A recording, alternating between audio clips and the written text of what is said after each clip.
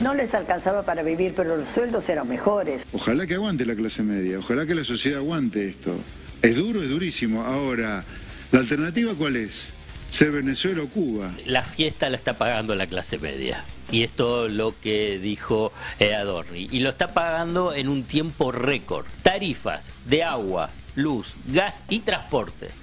Y si le sumás la cuota de prepaga, solo dos rubros ¿eh? del total del presupuesto de los hogares de clase media, se llevan el 36%. 36% para poder pagar solamente estos dos rubros básicos. Hace tres meses tengo 23 años, ¿sabes qué? Y no puedo conseguir un laburo. Salgo todos los días temprano a buscar con un currículo y no puedo conseguir un laburo. ¿Por qué? Porque me discrimina. ¿Por qué? Porque no tengo estudio. ¿Por qué? Por el otro. ¿Por qué? Porque te estimas. ¿Por qué? Porque estás viviendo en provincia. Y eso no es así. Yo no vivo en ningún plan ni en ningún lado. Tengo un hijo y no le puedo dar un plato de comida, loco no me alcanza ni para viajar. Que te salvó de una catástrofe, que te salvó de una hiperinflación que viajaba al 17 mil por ciento cuando él fue, mirá, fue el que generó una devaluación importantísima en diciembre y una inflación y licuó lo que fueron las jubilaciones. Esto es lo que deberías haber cobrado con lo que cobraste. Eso pasó en diciembre, enero, febrero y en marzo. Bueno. El gobierno peronista que tuvimos hasta diciembre del año pasado, con un 200% de inflación, ¿no generó más jubilados pobres? Entonces, digo, porque si no, hoy, estamos frente a un gobierno libertario que lleva ocho meses, pareciera el responsable del hambre de los jubilados. este gobierno, que, ¿qué hizo? En siete meses recortó a los jubilados de la mínima con bono le recortó, al día de hoy lo calculé, a agosto comparado con la inflación, 23% pierde. Por eso la recomposición era... 23 sobre una jubilación de miseria, ¿no? Porque yo no, yo no digo que la jubilación de Alberto era buena, era una miseria. Pero espera, espera. este gobierno le recortó 23% sobre una jubilación de miseria, o sea, ya eran pobres y son recontra pobres. Este gobierno le está quitando medicamentos, otra vez la gratuidad. Y este gobierno aumentó el desempleo de los trabajadores registrados. Entonces todo mal. además de que, y los pasajes. Y además de que está recesionando la economía. La frase de mi ley, decir que este mínimo aumento, unos pocos pesos, equivalía a 370 mil millones de dólares, seguramente ranquea entre las grandes mentiras de la historia argentina, por disparatada, por, por loca, este, por fabuladora, pero sin embargo la dijo este viernes. Dijo también que desde que está él en el gobierno los jubilados ganan más que antes. Dio un número, dijo ganan 5% más que antes. Es una mentira, una fábula. Le cuesta muchísimo devolverle 66 mil pesos a cada jubilado de la mínima, pero no le cuesta nada sacarle bienes personales en la misma cantidad de dinero a los ricos. Le saca a los pobres para darle a los ricos. Yo creí que Milei había ganado las elecciones por la, porque íbamos a cobrar en dólares, no porque íbamos a pagar en dólares. claro. Ahora volvamos a Milei. ¿Cómo es? ¿Qué sobra y qué falta? Creo que tiene un pésimo management. El equipo decís. Sí, sí, sí, tiene un mal equipo. ¿Te referís a los ministros? Sí, sobre todo las segundas líneas, creo que tiene malos ministros. Alguien debe ser que le está jugando una mala pasada al presidente y que está tratando de desestabilizar desde adentro su gobierno. Hay que insistir con que Caputo, no sé si está de viaje Caputo o no ahora, eh, tenemos información, volvía hoy. Bueno, pero es eh, uno de los tipos más importantes del gobierno. ¿Qué es Santiago Caputo para vos? Santiago Caputo junto a mi hermana es el Triángulo de Hierro. El Triángulo de Hierro, mirá qué título me das. ¿Y eso va a seguir siendo así siempre? Mientras que sigan eh, mostrando un desempeño extraordinario como el que tiene cada uno de ellos, no hay chances de que, digamos, se los cuestione. No es acorde a la modalidad de contratación que tiene Caputo con el gobierno, eh, que es un simple monotributista, es de su triángulo de hierro, que participa en la toma de decisiones y que no se mueve, no es eh, funcionario público. Algo bastante extraño. Creo que le sobra le sobran fuegos artificiales a mi ley. Creo que le falta management. Y me parece que empieza a agotarse la narrativa y a partir del año que viene la gente va a pedir, eh, además de del cofre de la casta, ¿no? Que vamos sacando cosas que veíamos que son inaceptables. Bueno, va a empezar a pedir, además de compensación simbólica, resultados. Hoy nos gobierna un avatar. Al exceso de Daniel Scioli, como siempre, que le quiso poner el premio Nobel a dos meses de haber asumido la gestión. A Mauricio Macri le decís que está para el premio Nobel a los dos meses, te llama y te echan. El Estado es el pedófilo en el jardín de infantes, con los nenes encadenados y bañados en vaselina. Hay un temor en el gobierno a intermediar entre mi ley y las fuerzas políticas eh, opositoras. Hay un temor, porque te pueden acusar inmediatamente, inmediatamente traidor. Es decir, eh, eh, y un, como un gordo ese que hace Twitter, de, dispara gente, no sé, que echa gente. Ah, Parisini, el gordo Dan. Ese. Se te puede echar el gordo Dan.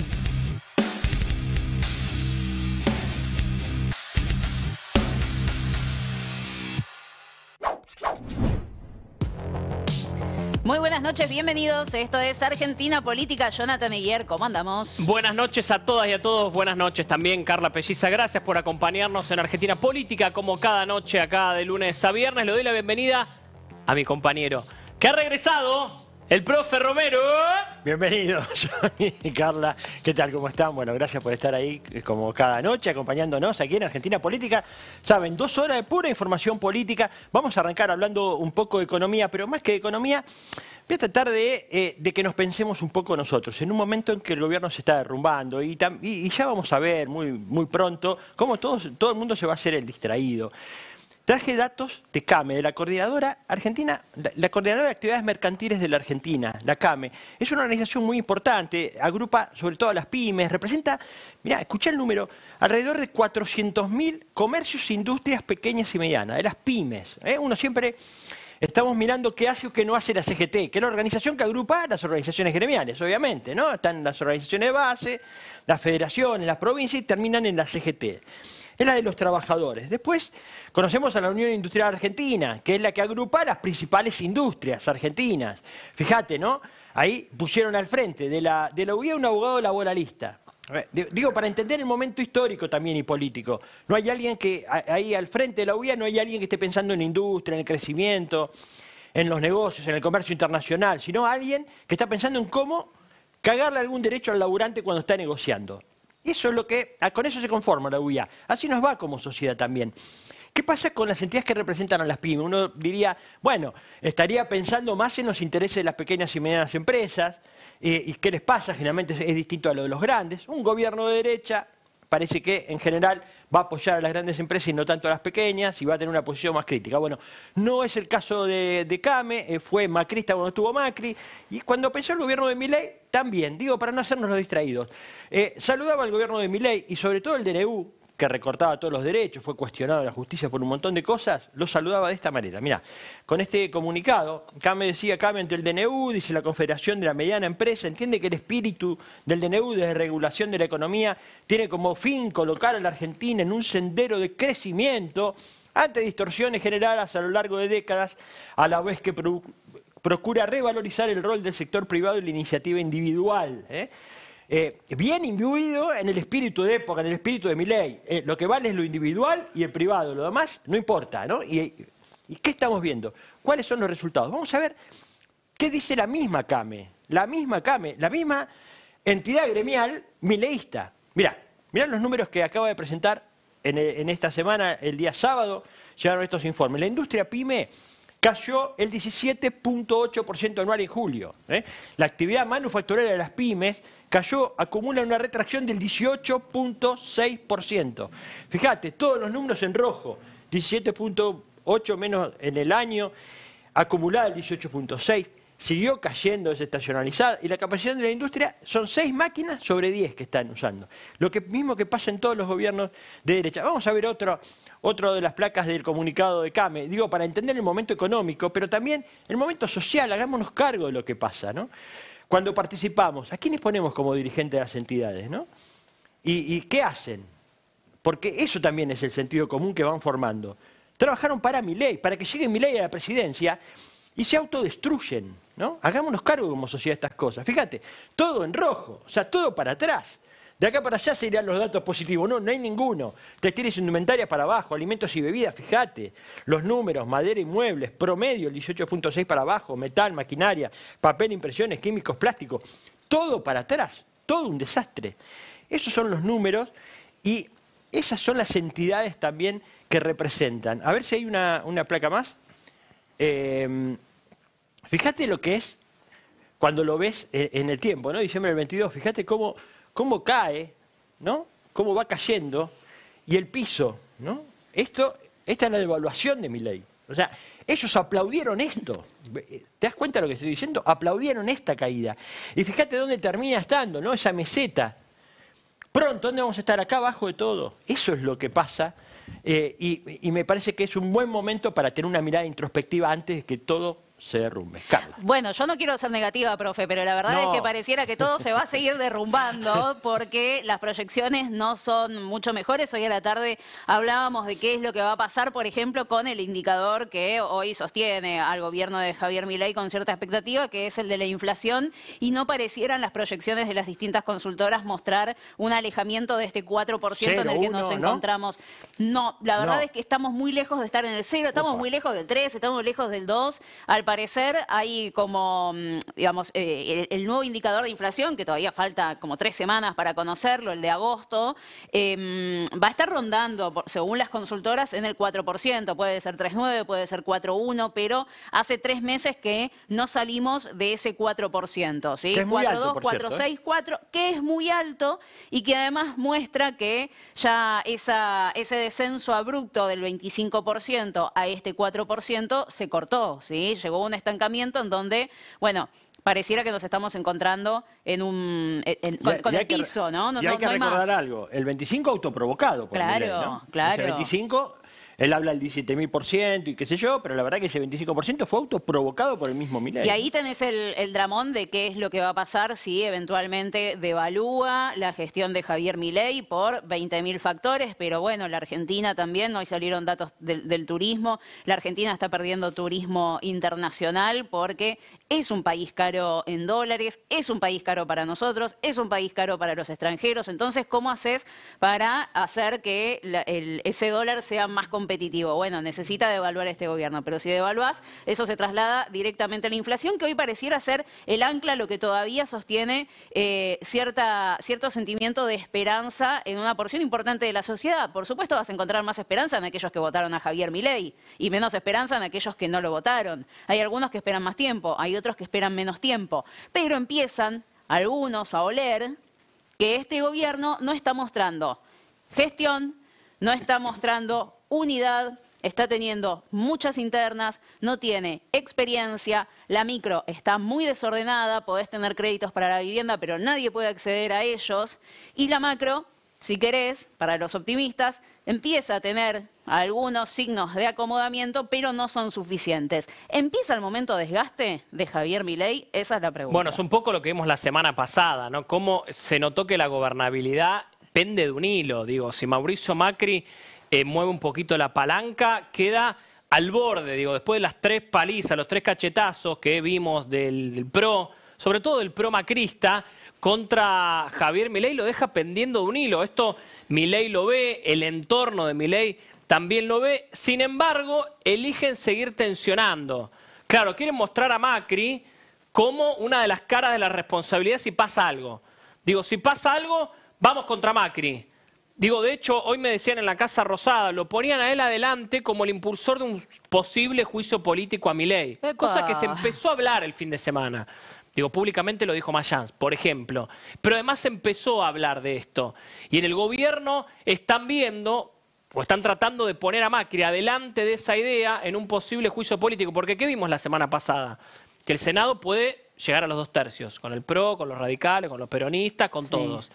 ¿Qué pasa en diputados? También vemos que se puede llegar con el PRO, con Macri y demás, con los radicales, los socialistas, todo, pichetismo y demás, a los dos tercios. Si vos juntás dos tercios en diputados, si vos juntás dos tercios en el Senado, le haces un juicio político a Milei, le das la mano y le decís muchas gracias por estos nueve meses, nos, vemos, nos vemos pronto, muchas gracias por todo. El gobierno está tratando de mostrar, de denunciar, entre comillas, que Mauricio Macri puede llegar a estar atrás de un posible juicio político a Milei que hoy parece lejano. No, sí, digo. porque hoy, a ver, hoy todas las fuerzas políticas, todas, no hablamos solo de la libertad avanza, del PRO, hablamos del peronismo, todas tienen un quilombo interno muy importante. Claro. ¿sí? Todas tienen que acomodarse. Entonces, hoy no, no le sirve a nadie una salida anticipada de- del gobierno, un juicio político, porque básicamente no hay que, ofrecer a cambio, ¿no? Entonces, Claro. eh, quedaría, le, le jugaría en contra a esa fuerza política, salvo que obviamente se, se desaten barbari- más barbaridades que hagan inevitable un, un juicio político. Pero me quedo con esto, si hay una intención del gobierno nacional de ponerlo a Mauricio Macri como tal vez uno de los impulsores, responsables o por lo menos facilitadores de la debilitación de la imagen de Javier Milei, ese llamado de atención que le hizo Macri la semana pasada fue escuchado por el gobierno nacional. Ese mensaje del PRO de decirle, nosotros no vamos a romper, queremos que entiendas y que definas vos, Javier Milei, qué es lo que querés hacer con nuestra relación, Javier Milei definió romper. A ver, Javier Milei básicamente tiene que elegir si se queda eh, con Mauricio Macri o en una relación con Mauricio Macri o en una alianza o convive ¿Estás jugando a dos puntas? o con Santiago Caputo. Básicamente el problema que tiene Milei hoy es eso, tiene que elegir ya, ya ya tiene que elegir porque no, hay- no puede haber una convivencia entre ellos dos. Ya no se puede dar una convivencia entre ellos dos. ¿Cómo, cómo, ¿Qué lectura hacen ustedes que están más, eh, digamos, imbuidos de- de- del run run de la política, sobre todo, y lo- eh, con el tema eh, de esa relación de Macri a partir no solo del resultado de, de la semana pasada, que fue catastrófica para Milei en términos políticos, sino de la reunión Milei-Macri. ¿Qué pasó ahí? Porque supuestamente Macri salió y dijo, no, tiene razón el presidente, fue como Cortés, hasta ahí, pero Milei habló mal, dijo eh, que él creía que no había entendido Macri. ¿Qué, qué pasó ahí? Yo no? creo que es una cuestión de, mo- de modales, yo creo, ¿no? De que acá se la están jugando a ver quién es el que queda peor ante la, la sociedad. Macri tiene una coincidencia muy grande con Javier Milei, que es el rumbo económico. Yo no sé si la posición de, de Macri de salir a- a- a bancar el veto de Javier Milei tiene mucho que ver con los ricas que estaban las milanesas de esa cena, o si tiene más que ver con que Mauricio Macri banca el objetivo económico de este gobierno y lo viene planteando desde el principio. Nosotros vamos a apoyar, dicen en el PRO, todo lo que haga al déficit cero, el ordenamiento de las cuentas y demás. Entonces, jubilaciones, evitar que los jubilados tengan un incremento, va en esa línea. Eh, la boleta única en papel va Pero en esa votaron línea. otra cosa, digo. Está bien, una cosa es lo que dice Macri Bueno, pero ahí los y otra senadores... cosa lo que hacen los de senadores, Macri. No los sé. senadores, bueno, y ahí Macri tiene un problema, de última si querés. No sé. Pues los senadores, según lo plantean los senadores, tomaron la decisión ellos. En base a, y esto lo agregó yo, nadie quiere pagar el costo político de ajustarle a los jubilados. Entonces ellos acordaron, según cuentan en el Frente Pro, con jefatura de gabinete, durante dos semanas hablaron y negociaron que ellos iban a aprobar la movilidad jubilatoria en general y que iban a rechazar los artículos que consideraban le complicaban el camino del déficit cero al gobierno nacional, que fue lo que hicieron. Ahora, el compromiso del gobierno nacional, entiendo yo, o ellos entendieron que iba a ser así, era vetar solamente esos artículos que comprometían al déficit cero, no toda la ley. Entonces ahí tenés un problema, ¿no? En la relación, en este caso de senadores con jefatura de gabinete. Y después Macri va a tener un problema ahí. ¿Qué pasa? ¿No le responde el partido? ¿No le responden sus senadores? Es raro, a mí. O de golpe se arrepintió de- en, en o es, cuestión de maquiavélico, 24 horas. o es maquiavélico Macri, hace la jugada a dos puntas, ¿no? Él dice yo, las ropas posible. él, dice, no, tenés razón que yo, pero abajo los manda a votar en. No sé. Eso lo dejaría Me mejor parado eso. que el hecho de que seis senadores Sí. no le respondan. A ver, hay varias puntas. Primero, a mí lo que me dicen es que Macri tiene la intención de que de, de algunas cositas del gobierno, hidrovía, IPF, la SAD, y que la reunión... Manejar él esas cosas. Sí, manejar él o amigos de él. Sobre Bueno. todo la hidrovía, Ajá. que es un tema complejo, porque mueve mucha guita en el año. El tema es que mí lo que me dijeron es que esta cena de milanesas del miércoles en Olivos entre Milei y Macri enfrió un poco todo porque venía de voltear los fondos de la CIDE, que fue un claro mensaje a Santiago Caputo, pero fue una reunión tensa, donde Macri le pidió la cabeza de Santiago Caputo a Milei, que le dijo que no le va a entregar, pero además no hubo ningún tipo de negociación sobre estos temas que le interesan a Macri. O sea, Milei decidió no darle nada por ahora a Macri sobre ese tipo de cuestiones. El tema es que esto siguió el otro día y los senadores del PRO salieron con la movilidad jubilatoria. Y acá hay dos cosas. Por un lado, los gobernadores también están arrinconados con esto, mismo los de Juntos por el Cambio, porque ahí están las cajas previsionales. Claro, ellos necesitan eso. Ellos necesitan eso. Lo que me dicen a mí es que el gobierno y parte de esta oficialista negoció que esos artículos salieran, digo, que, que- digo que, estén aprobados y el resto no. El tema es que parece que no hubo acuerdo, por eso Milei termina de vetar, dice Milei ahora, y hay que ver, por eso ahora voy a pasar a otro tema. Milei lo primero que hace es voy a vetar todo, dice, no me importan esos artículos, si los negociamos con el PRO, no los negociamos con el PRO, yo voy a vetar todo, dice Milei. Bueno, esto lo dijo el viernes, sábado, fin de semana, el veto total. Lo que me dicen ahora es que están negociando, tiene 10 días Milei para vetar, todavía no vetó nada. Me 10 están días diciendo, hábiles. 10 días hábiles, me están diciendo que se está negociando para hacer un veto parcial finalmente. va. O sea, el veto total de Milei hay que ponerlo por ahora en stand-by. Tal vez se da porque no termina de cerrar esta negociación, pero el gobierno hoy está negociando para que el veto sea, sea parcial, el veto de Milei sea parcial y algunas cosas las deje. Una de ellas, las cajas previsionales. Ahí entiendo entonces por qué son varios los que dicen vamos a ver qué pasa. Hasta el día de hoy vos consultás en, los disti- en las Claro. distintas fuerzas, sobre todo las más amigables al gobierno nacional, y siguen diciendo vamos a ver qué pasa. Incluso aquellos que se mostraron muy calientes con Claro. el tema del veto presidencial Sería raro total. igual, ¿eh? Sería- Digo, sería raro para Milei que salió fuerte a decir, yo veto total, ustedes ya me conocen, yo soy así, por lo menos lo que decía en entorno de Milei, él es así, bla, bla, bla.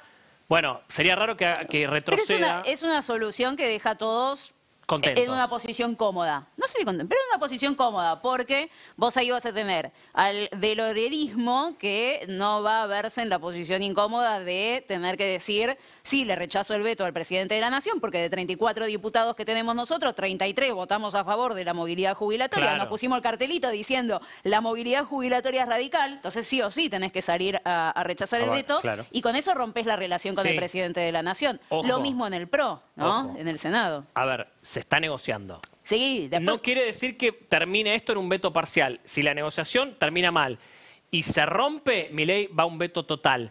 Eso puede generar, y también se está negociando por otro lado, que el Congreso lo contravete, rechace el veto, que es con los dos tercios de las dos cámaras. un veto total. Al veto total. Sí, al parcial. Al parcial no. Incluso, claro, alguien que está que dice yo al veto No total hay lo votos. rechazo, para el veto parcial me no hay votos. pasa. Para el veto parcial no hay votos para el contraveto, para rechazar el veto. Para el veto total hay votos de dos Sí. tercios en una Cámara y otra. Pero acá viene otro capítulo nuevo y el gobierno piensa judicializar, judicializar si aparece este contraveto. O sea, puede ser algo bastante pesado. O sea, no terminamos nunca. Y los jubilados van a seguir sin cobrar sus Bueno, 317 mil es pesos. un tema. Yo creo, si me preguntás hoy y si me decís, che, jugátela, no descartaría que Milei pueda llegar a ser un veto parcial. No sé cómo le va a explicar a la sociedad después porque viene diciendo, no, veto total, esto me mata el déficit. Bueno, tal vez termine en un veto parcial, como bien vos decís, deja cómodos a todos, todos tranquilos. Bueno, pero es un poco lo que creo que charlábamos la semana pasada, que me decía un, un dirigente del PRO, muy entrada la noche, eh, que decía, este gobierno está teniendo tantos problemas que empieza a tener muchos inconvenientes de discurso y se empieza a contradecir en todo lo que hace. Sí, claro. Entonces, eso primero es un problemón, obviamente, para el gobierno nacional, porque es insostenible, pero también le permite decir cualquier cosa. Entonces, hoy Javier Milei puede decirte, yo te veto to- totalmente esto, Y después no lo hace. y después no lo hace y hace otra cosa. Y Claro. total, porque ya no hay una coherencia discursiva de parte del gobierno. Entonces, un día puede ser el gobierno A, otro día puede ser el gobierno B, después volver a ser el gobierno A. Eh, Depende de cómo se levante el traje que se ponga y eso no necesariamente ya genera eh, choques eh, neuronales en quienes eh, re- recibimos ese discurso. Claro. Porque sabemos que es un gobierno de la contradicción con patas. Sí, te completo una información que veníamos manejándola la semana pasada. Recordemos, Caputo se fue de viaje, Santiago Caputo. Sí. Milei lo había licenciado la semana pasada. Generó un estallido en el gobierno porque se fue en la semana más caliente. En- una de las peores, tal vez la peor semana del gobierno desde que asumió Javier Milei. Todos los cachetazos legislativos que vimos, la comisión de inteligencia bicameral finalmente que se la queda Martín Lustó. Bueno, Santiago Caputo volvió finalmente. ¿Trajo alfajores? Porque el profe trajo eh, comida de Muy rico- de muy rico el chocolate. No sé Santiago. Caputo, ya que estuvo en, en- en el sur, tal Sí, vez. yo fui a la Casa Rosada, no vi ningún alfajor. No había nada. Ah, bueno. Lamentablemente. Qué bárbaro. Se, Bueno. se vio a un Santiago Caputo por los pasillos con normalidad. Parece que sigue con normalidad. Los que pudieron tener algún tipo de contacto con él me dijeron que está enfurecido contra Mauricio Macri. Y sí. Que esta guerra va a fondo, ¿eh? A fondo. Ahí hay que ver por eso, Milei, ¿qué termina haciendo? Porque Milei lo sigue respetando a Macri, lo sigue queriendo, bla, bla, bla, bla, bla, bla. Pero hay que ver Mirá, hasta cuándo. Yo creo que lo que va a pasar es que van a terminar juntos, van a terminar juntos en, un- en una coalición, en un arreglo electoral, no fusión de partidos, sino arreglo electoral, y que lo que está terminando de definir Macri, según la suerte que corra el gobierno nacional, es en qué momento de la corta vida política de la libertad avanza se va a llegar a ese acuerdo. Si en este momento, donde todavía tenés un 40% de, la- de los votantes que tienen cierta esperanza en esta gestión, o lo que piensa Macri, si eso no sucede ahora, Cuando haya menos, claro. cuando haya menos, Claro. producto del deterioro que mencionábamos recién por la falta de gestión. Hay ministros, me decían hoy, que no sabemos quiénes son, bueno, expedientes que no se mueven, falta de muñeca legislativa, bueno, los intendentes que tiene el PRO, los gobernadores que tiene el PRO. Me parece que lo, que se- lo que se está terminando de definir es el momento en el que llegan a un acuerdo. en este momento, Macri quiere una discusión de igual a igual, que es la que la libertad avanza no le quiere dar.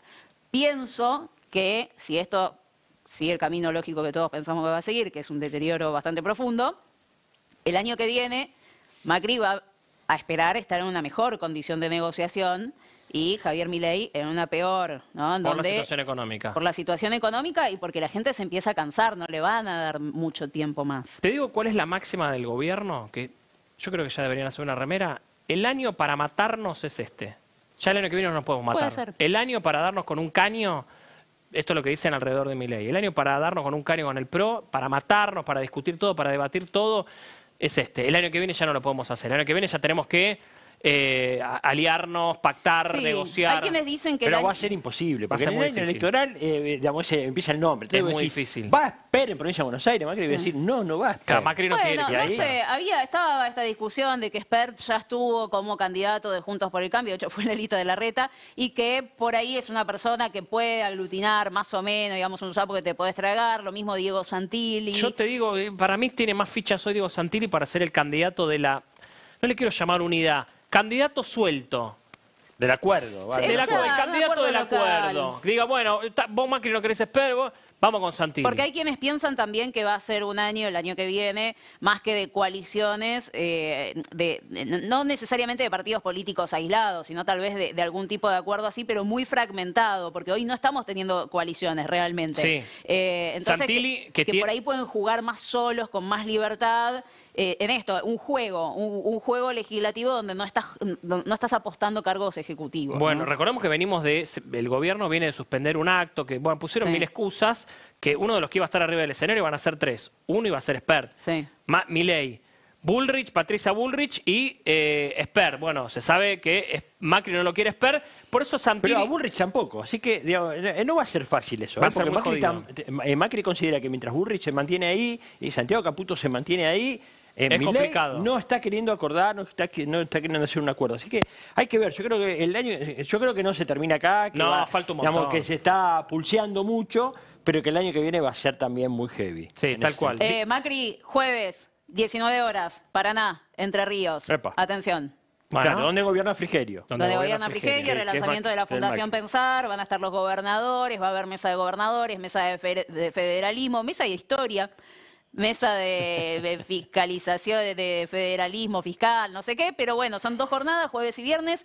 El jueves María Eugenia Vidal y Mauricio Macri cierran la primera jornada. Es la segunda vez que el expresidente aparece Veremos qué es lo que dice en medio de, bueno, varias oportunidades que se han dado mutuamente con, con Santiago Caputo y que claramente no han funcionado. Tenemos tanta información que yo no sé si nos queda la hora y media que nos queda por delante hasta las 21 horas, pero vamos a hacer todo lo posible. Acá en Argentina Política viene Juli Estrada a hablar de todo, economía, congreso, de todo. Franco Formoso con su mensaje de siempre, Manu Rodríguez con todo lo que pasó y lo que va a pasar en el deporte. Viene también el doctor Chiminelli y ¿sabes quién vuelve, profe? ¿Quién vuelve? ¿Quién? ¡El burrito!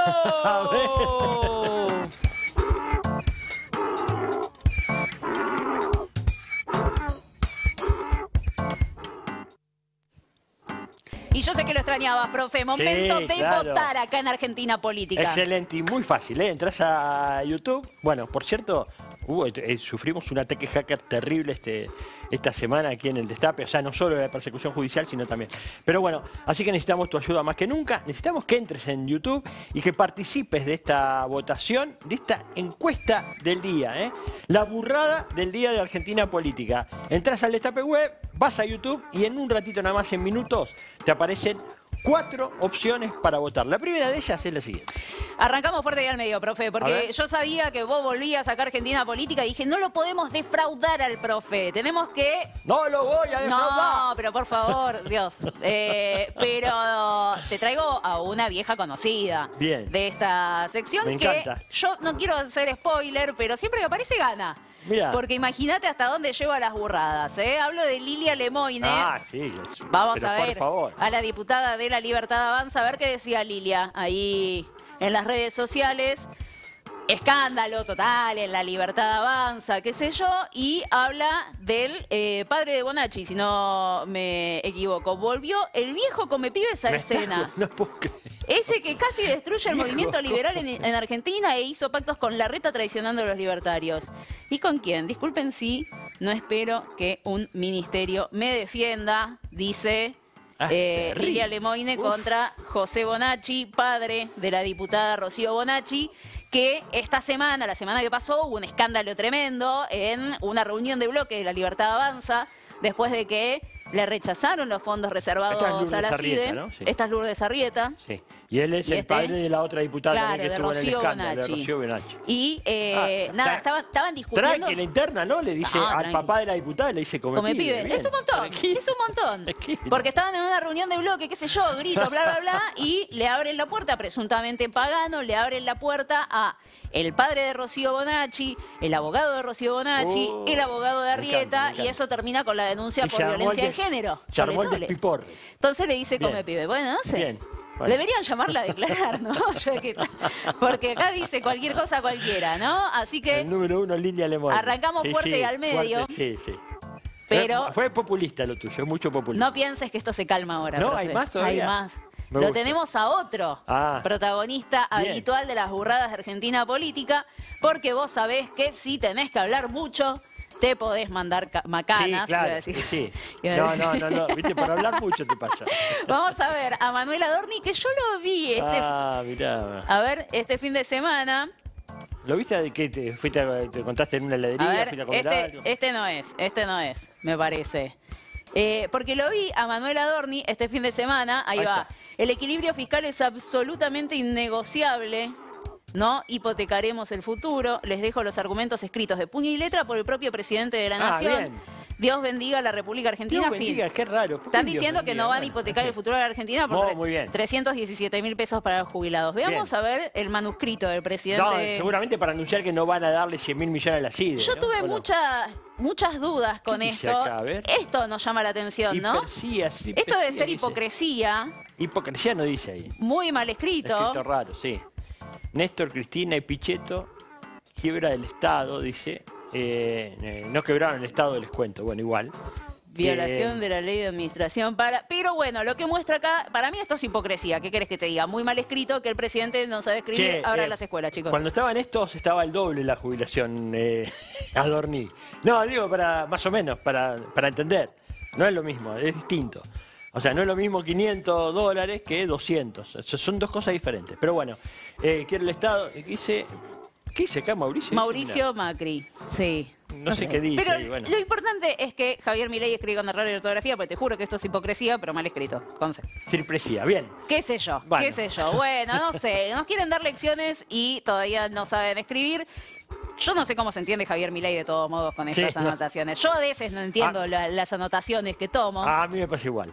¿Te O pasa? sea, yo anoto, anoto, anoto y después digo, ¿qué, habré querido decir? Claro, ya le va a pasar lo mismo. Probablemente. Al presidente le va a pasar lo mismo. Vamos Bien. con la siguiente burrada. Aquí en Argentina Política, Milei deberá pagar 61.600 millones de dólares de deuda y el 70% lo contrajo Caputo. No te puedo creer. No Eso te puedo creer. Pero aparte él lo criticó cuando pasó eso a Caputo. Y después lo puso. Bueno, no te puedo en fin. creer. Bueno, Bueno, toda tuya, eh, toda tuya. Más Tú, allá mi- tu de lo abultado de las obligaciones de acá de enero hasta fines de 2027, el gobierno deberá seguir afrontando fuertes vencimientos. La gran mayoría fue contraída en las dos gestiones de Caputo, con Cambiemos y La Libertad Avanza. El 38% responde a bonos privados, el 21% al Fondo Monetario y el 12% a Bopreales. ¿eh? Bien, bien. Tranquilo. Fabuloso. A ver, sigamos viendo el desenlace de esta burrada. Y ahí vemos, Spider-Man, Spider-Man de. Caputos. Milei deberá pagar la deuda y la deuda es de Caputo. Bueno, en fin. Bien, Caputo. Bueno, vamos a reconocerle algo a Javier Milei. La burrada es haber nombrado a Caputo. ¿No? Esa es la Bueno, es cierto, pero bueno, Javier Milei le había burrada. dicho, ¿no? Al Toto Caputo que era un chanta. Que era una barbaridad, dijo. Alguien seguro. debería recordarle las cosas que decía, ¿no? Para no cometer eh, esos errores. Y para cerrar, porque tenemos que... Número 4. Sí, tenemos que cerrar como Dios manda las burradas de Argentina Política. Hace rato que no lo tenemos a él, un colega tuyo. Bien. Yo me voy a desentender de todo No, no, esto. yo no, yo me hago cargo. a ver. Luisito Majul. Mi amigo, amigo mío. Luis Majul. Luis Majul. Bien. ¿Querés ver qué anduvo diciendo ver Luis qué Majul? dice Luis. Vamos a ver qué decía. Te escucho. Todo parece indicar, por eso dicen que va a haber una nueva temporada, que hay unas gemelas que aparecen bailando en el encargado con un guiño exquisito. No sé si esto será así. Una señal para mostrar en la ficción, ¿no? A Victoria Villarruel, junto a su hermana, tiene una hermana, Virginia de las Nieves, son igualitas. De asombroso parecido con el vicepresidente. Virginia de las Nieves, algunos se acordará, se hizo presente en el último acto por Malvinas. Y algunos dicen, estas gemelas que nadie se sabe por qué están en la serie, aparecen acá, tienen que ser las hermanas Villarruel, qué sé yo. Las no están muy conectadas entre ustedes. Esa es la impresión que me da. Como que una baila por un lado, otra baila para el otro. Tienen que ser una sola cosa. Se deben conectar, mirarse. ¿Me explico lo que digo? Además, estoy observando que no tienen presencia escénica. Están bien paradas, bien, como una energía. Las piernas estiradas, tac, como un junco, no sosas. ¿Quieren que probemos una vez? Y yo les voy marcando los errores. Si les sirve, si no, no, ¿eh? Nos re sirve, sí. Pongan la música, vamos. Bueno, un poquitito de ficción en el medio de tanto lío. Bueno, cuando vos le querés meter onda a las cosas, ¿no? O por, por ahí estás eh, mirando todo el tiempo interna, interna, te llegan mensajes, tucu, tucu, tucu, y estás mirando una serie y de golpe ves que aparecen dos gemelas y decís que, que es Villarruel. que es Villarruel. Rarísimo. No termino de entender el delirio Bueno, místico de, de Luis Majul, casi le digo Javier Milei, pero bueno, si tenemos un presidente que ve un perro muerto, ¿por qué Luis Majul no va a ver en dos protagonistas, dos personajes de una serie? Otros dos que no son. Exactamente, Bueno, en fin. pero bueno, sí, no todo es interna libertaria. Dudo mucho que los guionistas del encargado hayan pensado en personajes. No sé, igual, decir pero sí. no, los guionistas, eh, no sé, pero bueno, pero acá ellos, Bueno, evidentemente no ¿puedo eran decir que en el futuro la- por ahí en una de esas le damos la, la razón a Luis Majul? Eh, No, No no, era, no era, no era, no exageré, pero bueno, igual el encargado igual tiene unas cositas mucho ahí. que no la Hay veo. como una simpatía, sobre todo en, la última temporada, como una Ah, no la simpatía vi. si aparece nada. Bueno, No la vi, pero no bueno. te quiero spoilear, no te lo voy a contar el final. Vamos a repasar las burradas de Argentina Política. En nuestro canal de YouTube nos encuentran como el Destape en la transmisión en vivo. Van, hacen clic y en la zona del chat ya está habilitada la votación. Qué ¿eh? difícil hoy, por La tenemos a Lilia eh, Lemoine contra el papá de Rocío Bonacci que le dijo viejo come pibe. Insólito. Es diputada de la Nacional. El manuscrito de Manuel Adorni muestra cómo Javier Milei se hace machetes para justificar que los jubilados no pueden cobrar 317 mil pesos con errores de ortografía. En fin. El Jabo tiene que pagar la deuda que contrajo Luis Caputo, el 40%. Caputo tiene que pagar la deuda, Caputo tiene que pagar la deuda de Caputo. Si Como no corresponde, ¿no? sé, Si uno se toma su propia deuda. Y eh, a Luis Macul ya le chifla el moño porque ve interna libertaria por todos, todos lados. La ve ¿eh? por todos lados Victoria. Yo Bueno, la verdad es que eh, estoy entre dos. ¿Qué querés que te diga, profe? Vale. ¿Tenés algún favorito? Sí. Yo creo que ya sé cuál es tu favorito. Ustedes voten, ¿eh? Para las 9 de la noche vamos a estar diciendo quién es el ganador de la burrada de Argentina Política, pero... Bueno, Espera que voy a llamar a. Coso. Hola, hola. Hola,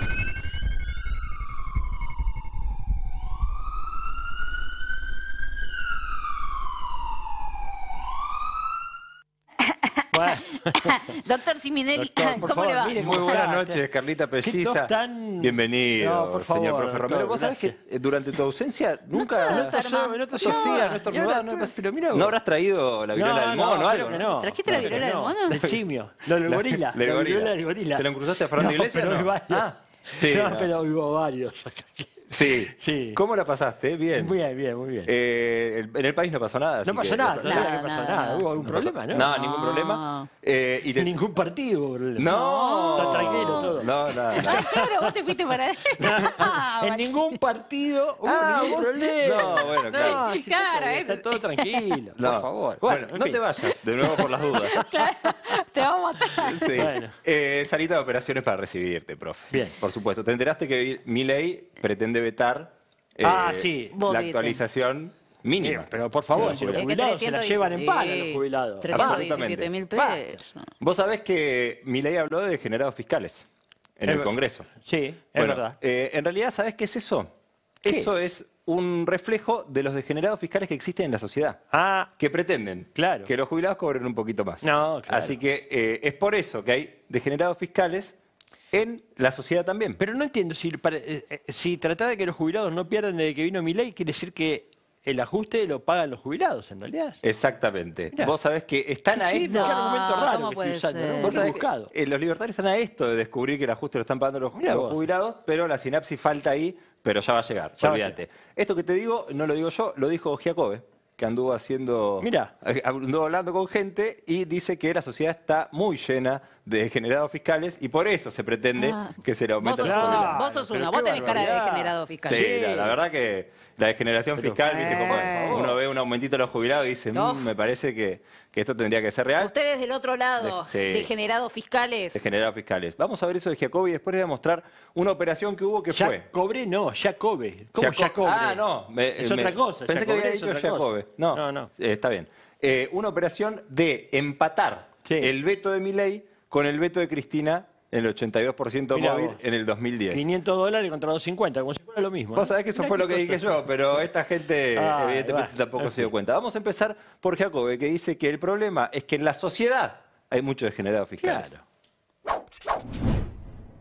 Mira, tengo, la verdad que tengo 800.000 datos que demuestran y sustentan que el nivel de incoherencia y de inmadurez en el doctorado argentino, incluso los votantes de Milei, es profundísimo. Y esto es un problema para él y para cualquier presidente. Por ejemplo, arriba del 60% de los argentinos no quiere que la edad jubilatoria sea tocada. Hoy nos jubilamos a los 60 o a los 65. Eso es un problema porque hay que modificarlo. Porque, por Hoy supuesto, el- expert, hoy expert dijo, hay que subir la edad jubilatoria. El sistema es infinanciable. Pablo, el sistema previsional argentino está pensado para la época de Bismarck. Lo tenemos que mover. Para 70 y para 75. ¿Está de acuerdo usted, señor, que votó a mi ley? Ni en pedo. Ok. ¿Y qué hacemos con las jubilaciones de las personas que se jubilaron sin hacer los aportes? ¿Los cancelamos? Ni loco. ¿Y qué hacemos con las No, las jubilaciones de mi abuela no me la toca. Yo voté a mi ley, pero no me la Pero que el dolor no venga acá. Entonces, para cualquier presidente, para cualquier presidente, el nivel de incoherencia de sus propios votantes es un problema. Y entonces Milei encuentra degenerados fiscales en el sistema político porque en realidad están representando un nivel de degeneramiento fiscal que también está en la opinión pública. Insisto, incluso en sus votantes. Si no, no hubiéramos llegado aquí. No, si te lo explican, la verdad que me Sí, parece. lo entiendo. O sea, ellos no son degenerados. Ellos No, quieren no. cagar de hambre a los jubilados, Exacto. pero no son degenerados. Son No, buena gente. Buena gente. Que quiere que la gente, que nos jubilemos a los 75 cuando el promedio de la de vida son el 74. Sí. Perfecto. Y bueno, un año después de muerto también tendrías que poner un- una guitita, ¿eh? mirá. Ojo, no está mal. Eh, No le des idea que en cualquier momento nos hacen trabajar incluso muertos. Lo por que me favor. causa gracia, lo que me Yo causa creo que gracia sí, se fue inteligencia es que artificial. Jacobe habla del nivel de ignorancia del votante de Milei. Sí, claro. Que casualmente en la Él no, nación más. Él, él- tiene un IQ muy No, alto. olvídate. Eh, el nivel de ignorancia de los votantes de Milei en la nación más, que casualmente son los mismos televidentes. O sea, capaz hay un problema ahí, ¿no? Capaz no estaban de acuerdo con la medida de Milei, hermano, y estuvieron consumiendo la basura que ustedes venden y por eso lo votaron, pero no están de acuerdo con que le aumente Me- me la edad jubilatoria de 10 Te, años te más. siento un poco sobreideologizado. Ah, sí. Me- no me tomé la pastilla hoy. Pero eh. Pablo Rossi, viste, dijo, No, es verdad. Pero si Esper dijo que había que subirlo a los 75, como Exacto. si Esper fuera una fuente de sabiduría. Y dicen, es infinanciable. Che, de sacar los cinco puntos del PBI que se van en exenciones impositivas para los más ricos, ¿no hablan? ¿No eso no se de sacar nunca. bienes personales, ¿no hablan? Bueno, no, evidentemente no. Bien. Vamos a ver la comparación del veto contra el veto. Veto con B corta. Sí. De Cristina, del 82% móvil, que vos, profe, rápido, no lo habíamos hablado y me dijiste, claro, pero ahí eran las jubilaciones más altas, las tarifas eran más bajas, el alimento era más bajo, había medicamentos gratis, era otro poder adquisitivo de la jubilación. Estabas incluyendo gente. Ellos quieren, dicen, no, ay, no pagaron. Exacto. En realidad pagan para, para ser incluidos. Claro, O sea, la moratoria se paga. Se paga.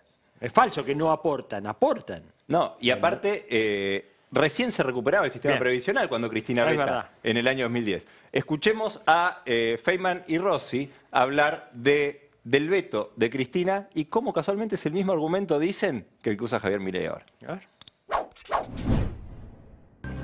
Es el, es, el gran, es el gran problema de un sistema previsional insostenible, infinanciable. Esto decía Cristina, ¿no?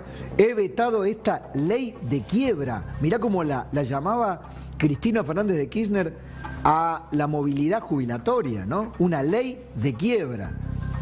Bueno, hoy los kirchneristas, por supuesto, que fingen demencia, no tienen recuerdo, no les importa. Vos fíjate que están lo- del otro lado. Lo que decía Cristina ahí es, no puedo permitir que se desfinancie al Estado. Claro. Es lo mismo que dice mi ley hoy. Sí, de una Cristina que parecía responsable fiscal, que después fue todo lo contrario. Pero tenés razón, que es el argumento Y Néstor Kirchner, que hace valer el presidente. antes de morir, tenía el mismo discurso que mi ley hoy. Bueno, ahí están comparando el veto del No, 82% no, porque móvil para justificar el veto de Milei. Y fíjate que hablan de Néstor Kirchner Sí, y me el un argumento. montón. el argumento de Néstor Kirchner, ¿no?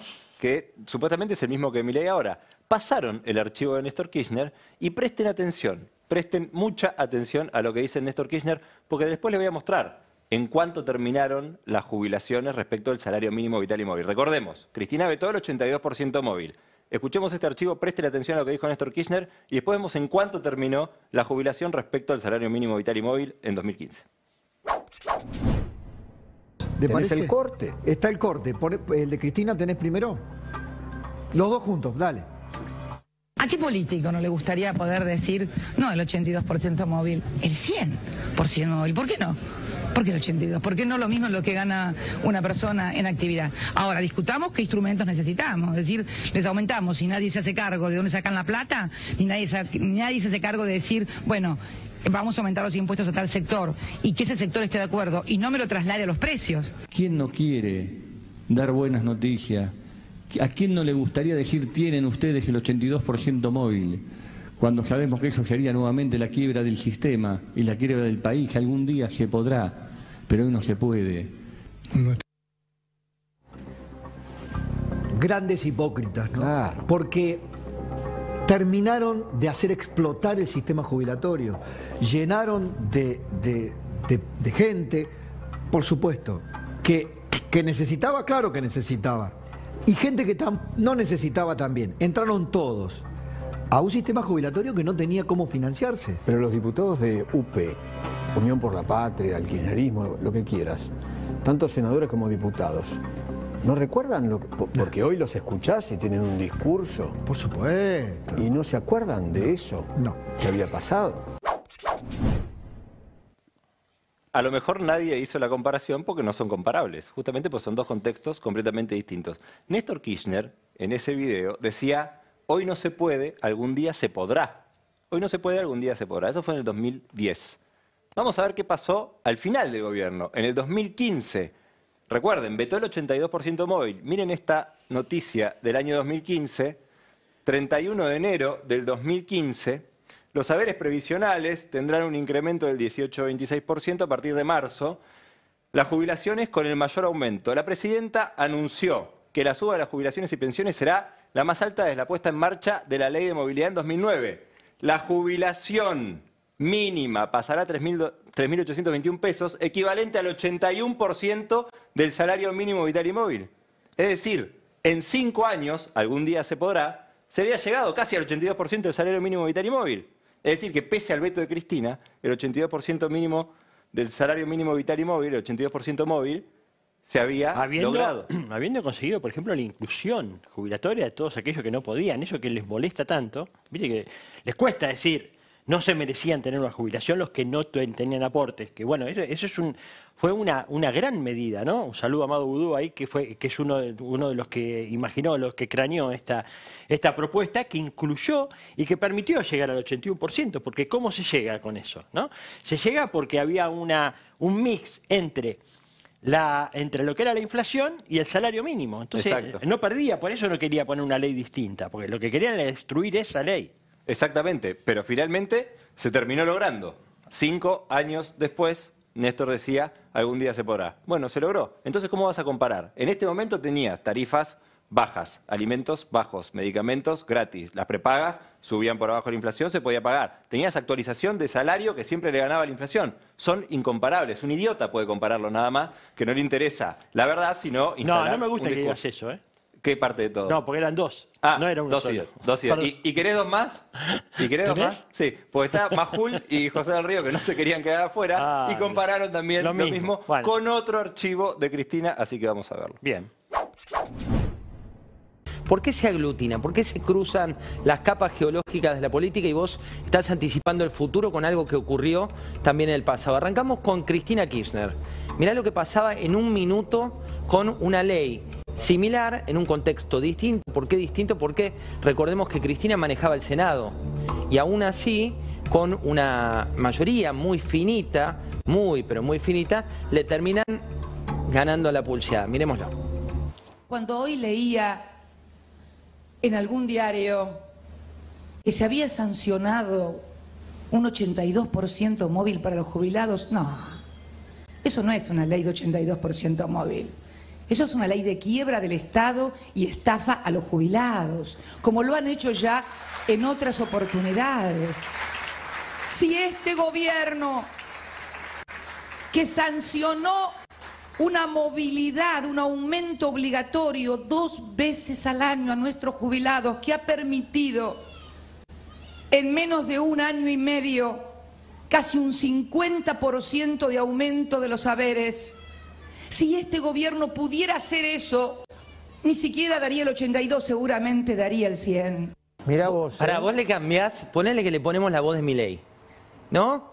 Le pones eh, o la imagen, ahora que todo está con inteligencia artificial, y la argumentación que da Cristina Fernández de Kirchner. La misma. De la ley de quiebra. Hablaba de la ley de quiebra, hablaba de. En un contexto muy distinto políticamente porque tenía mucho más poder en las cámaras. Bueno, acá tengo el dato. Eh, a fines del 2015 la jubilación era 447 dólares para buscar una moneda constante. Récord en América Latina, ¿eh? En Récord en. América Latina, eh, 587 el salario básico, también récord en América Latina en 2015. Pero bueno, la jubilación, 447 diciembre del 2015, 233 diciembre del 2019 con Macri. Mm. Eh, ¿Y cuánto está ahora? 270. O sea, la mitad es la jubilación. La, mitad. con la diferencia, eso en dólares, pero con la diferencia de que todo el otro se dolarizó. A ver, además, claro, el costo más alto, La comida la pagamos más cara que en Europa, la tarifa la pagamos a precio dólar. El alquiler la aumenta se todos los días, el alquiler no se puede pagar. Eh, hay que ver el valor de la jubilación en relación con los precios de la economía. Es verdad. ¿Cuánto te alcanza para comprar? Bueno, eh, y por cierto, durante el kirchnerismo se jubiló el 96% de las personas en edad de jubilarse, que ahora se andan quejando estos que dicen Claro. entraron Qué sin pagar. entraron, claro. Hoy escuché a Feynman diciendo, mañana lo, tra- lo traigo, eh, diciendo gente que se rompió el lomo toda su vida cobra lo mismo que los que no se rompieron el lomo toda su vida entraron. ¿Pero qué te pensás? ¿Que vivieron 65 años? ¿Sin hasta- trabajar? Sin trabajar. No le hicieron aporte, qué distinto. Bueno, Feynman mismo reconoce la realidad de los jubilados. Actualmente, recordemos la argumentación que hizo recién, y dice que eh, son un gran problema la realidad de los jubilados porque muchos están en la indigencia. O sea, reconoce la realidad, pero dice, No, pero está la bien vetar solución- como vetó Cristina. Claro, la solución es matarlos. Esa- evidentemente. la solución es que se mueran definitivamente de hambre y ahí te ahorras Sí, un sabes montón que de hoy veía jubilación. No des ideas. un, un estudio un poco por arriba, creo que era de la Universidad Nacional de Quilmes, sobre el votante de Javier Milei, ¿no? Y cuáles son las expectativas, el tiempo que se le da a esta gestión. Y la mayoría, el 43%, si no me falla la memoria, era 43-44%, decía que eh, con tal de que se baje la inflación y de que no haya inflación, se podía podía tolerar eh, un aumento de la pobreza y la desocupación porque había que dar tiempo para acomodar esto. Bueno, es un poco lo mismo, Es lo ¿no? mismo, es claro, exactamente exacto. lo mismo. Sí, es sí. eh, reconozco el problema, pero tenemos que Claro. eh, bancarlo porque ahora no se puede. Sí, eh, spoiler, no se soluciona Recuerden claro. que durante los Es al 90 y en la. Rúa hubo cero de inflación, había deflación y explotó todo el aire, porque no es una solución real, pues está matando gente. Escuchemos a Feynman y a Rossi hablar de la realidad actual de los jubilados. Están los jubilados. Totalmente. est- Está, está el presupuesto. Yo Están debajo de la línea de la pobreza, te- algunos te ve- debajo de la línea de la indigencia. te veía la nota con Semino, te veía la nota con Semino y tiene razón. Totalmente. O sea, a ver, eh, eh, acá O sea, esa es la realidad. La realidad es esa. Ese es el metro cuadrado de cada uno de los jubilados en la Argentina. Y ma- y mi- Hablamos de lo que cobran la mínima, ¿no? Totalmente. No de los otros. To- totalmente. Y Milei tiene razón en lo estructural. Totalmente. Porque si no, seguiríamos replicando la hipocresía de la clase que política. era lo mismo que decía Cristina en el Exacto. 2010. Es Exacto. exactamente lo mismo. Bueno, reconoce el problema. Están en indigencia, bueno, flaco, que metemos- Para, para, para. Ustedes son muy duros. El primer paso es reconocer el problema. Sí, pero, pero que den el segundo rápido. pues. Ah, bueno, eso no quieren. Claro, eso Eso no no quieren, eso no quieren. Bueno, ustedes están muy, muy ambiciosos, chicos.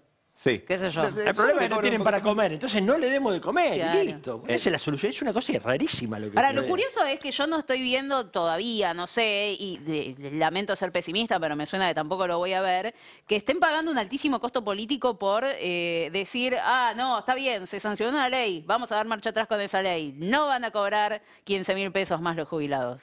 Bueno, en algún, yo creo que en algún momento. Eh, se, va, tiene- se va a pagar eso. sí. Se. Esperemos, uno espera, uno Sí, espera. Sobre todo porque esto ya lo vivimos y no dio resultado. Entonces, alguien que, aparte los jubilados de ahora, vivieron esa época. Acuérdense, no hay ninguna solución. Claro, pero- Simplemente los están cagando porque no le quieren sacar plata a los que son Pero vos amigos. fíjate y lo están importante de financiando. los Feynman de la vida, que con muchísima paciencia, Claro. durante muchísimos años, te hacen creer que está bien que hoy no cobren una jubilación, ni siquiera digna, ¿eh? Porque no, No, es no, digno, no. no, es digno ni, ni, ni por asomo 317 mil pesos, pero un poquito mejor de lo que te están cobrando ahora porque eh, viven de arriba, porque es toda una farsa, porque la fiestita del kirchnerismo, porque la moratoria, por esto, por aquello, y hay, no digo todos, por supuesto, pero hay algunos que evidentemente un poco se tragan ese discurso Es y creen que es así. Tienen una unidad conceptual y son muy perseverantes en su discurso. Entonces lo que no están hay, instalando ningún, todo el tiempo. claro, no hay ningún elemento. Vos decís, bueno, está bien, le pagás menos a los jubilados la mitad. ¿Y qué pasa? ¿Está mejor el país? ¿Tenés mejores Claro, rutas, mejores no, calles? no, ¿Tenés no. los remedios? No.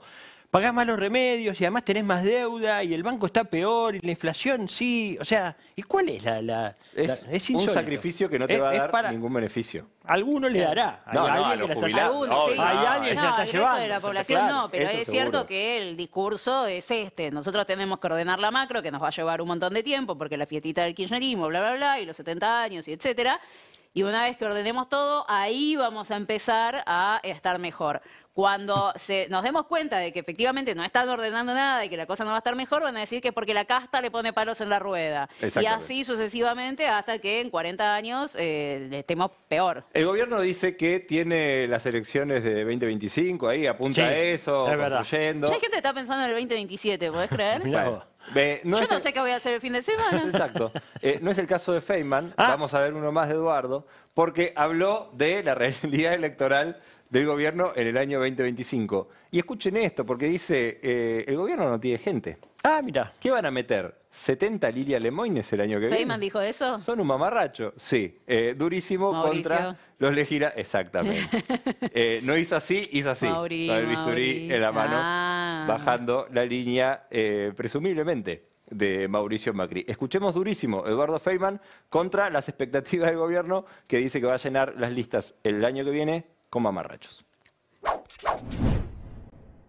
Eh, pero más allá de Paultroni, que, que, eh, a mí lo que me llama la atención, que hay muchos diputados, y seno- muchos no, todos los diputados y senadores, salvo Villarroel, saquemos. Todos los diputados y senadores, ninguno tenía un voto propio. Es más. ¿Hablas yo- de Libertad Avanza? Sí, Libertad Avanza. Yo te pongo la Un foto. mamarracho. Yo te pongo la foto de todos, la mayoría de los argentinos no los conocen. Un mamarracho. Son diputados y senadores por mi ley. Y te digo una cosa, Por mi ley. sin duda. Por mi ley. Entonces, me- Sin duda. Me, me parece que. Bueno. No, no digo que le digan todo que sí. Ahora, Pero. el gobierno tiene un problemón para el 2025. Porque como no tiene gente, ¿de dónde va a sacar gente? Va a ser lo mismo que ahora, con No. gente impresentable en cada uno de los distritos. a y se va a encontrar, por ejemplo, con un, no sé, si le va muy bien al gobierno, puede llegar a tener un bloque de 70 diputados. ¿Entendés? Sí, claro. Solamente puede llegar a conseguir algo así como 15 en, provincia provincia de Buenos Aires. Sí, sí, sí. ¿Entendés? Sí, sí, sin duda. ¿Pero qué? más, ¿Van a ser si- 70 si le va bien. impresentables? Se- Claro. 70 Sí, no. limones? O la Moine, no, Sí. no sé, 70 de esos. O 70 diputados o Pa- Poltroni, que ho- hoy, hoy se comportó como un patotero, en, la verdad, impresentable. Pero bueno, Es un Claro, es sí, un lo que tiene que hacer es decirle a Macri que le arme las listas y ya está. Exacto. Limones, ¿cómo es que se llama? Encima el ninguneo. 70 total. de esos, 70 de esos como un desprestigio eh, total. Mamarrachos, Y aparte que no nos faltan, que no nos falte el Lemoyne en las burradas. porque Claro, si no, no, ese no es un podemos hacer más problema. burradas, por favor. Es cierto, ella igual tiene mandato todavía. Sí, sí, para- todavía le queda, le queda. bueno, menos Bien. mal. le queda. Bueno, vamos a cerrar con este también de Eduardito, que escuchen lo que dijo, porque viste que se habla mucho de la CIDE, ahora que está lo de los Sí. fondos Ah, reservados, mira, que va a sí. votar. Eh, hay organismos de inteligencia internacionales Sí. que está diciendo, y, y lo dice Feynman, que antes, con la intervención de Cristina Camaño, las- la AFI estaba mejor. Ah, ¿dicen eso? No, ¿Por qué se ríe, doctor? Lo dice porque lo dice Eduardo Feynman, porque por cierto es obvio, ¿no? Eh, claramente, obvio, claro que claramente, es ¿verdad? Tal- Pero que lo diga pero que lo diga es. Feynman y que agentes internacionales hayan dicho, che, pero antes estaban mejor. Pero no ¿Qué tiene pasó? que ver con la interna de Macri con Santiago Caputo. Eh, ¿eh? Claro, bueno. vos decís que tampoco eh, ya eh, desbordada la interna, ¿no? Exactamente. O sea, en cualquier momento realmente Mauricio es kirchnerista. No, ni siquiera. No, en mi ley, en cualquier momento es kirchnerista y lo opera eh, Eduardo Claro. con eso. Pero en este caso eh, lo está operando con la verdad. Evidentemente, antes la Agencia Federal de Inteligencia Seguro. estaba mejor. Era más transparente, por ejemplo, había fondos No reservados, había era distinto, por era ejemplo, otra cosa. pues, se, se usaba para otra cosa. Que por cierto, Cristian Camaño dijo, nosotros sin esos fondos reservados no tuvimos ningún atentado. es verdad. bueno, eh, escúchenlo a Eduardo y con este cerramos. Algunos servicios del exterior llegaron a, a- a decir así en, en reuniones reservadas, la verdad que con Camaño estábamos mejor.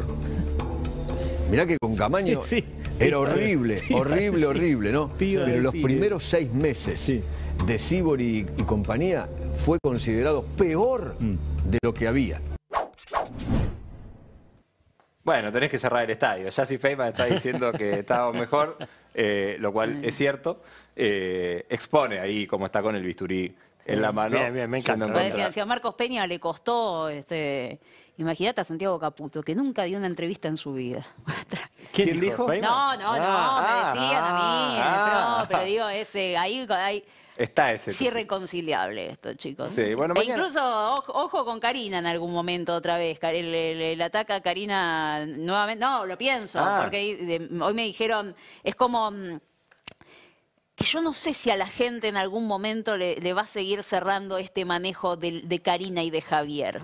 Y la verdad que. Bueno, primero mucho- Santiago. Solo hay que sacás tener a Santiago, paciencia. va- Primero por fue Karina. Pose, Pose. Ah, ahí está. ahora Va, viene- es el meme que Ah, va mirá. Macri con la guadaña tocando puerta por puerta, ¿viste? ¿Se acuerda, doctor? Usted lo trajo en febrero al cirujano Feynman Claro. diciendo hay dos que no quieren que Macri entre en el gabinete. Nicolás Pose, no lo dijo nombre y apellido, creo, pero Nicolás Pose y Santiaguito Caputo. Sí. ¿Cuántos Bien. quedan de esos? Queda uno. Y 0.75, porque está- te tuvo que ir a comer en unos días. Mañana les traigo algo de eso, porque Bien, volvió a hablar, volvió a hablar sobre ese Ay, tema. ay, ay, ay, ay. Muchas gracias, Doc. Como siempre, nosotros en instantes vamos a estar hablando con Manu Rodríguez sobre el deporte, profe. Me parece que es un excelente plan, pero antes... Pero antes mira lo que pasó en el destape hoy, fíjate.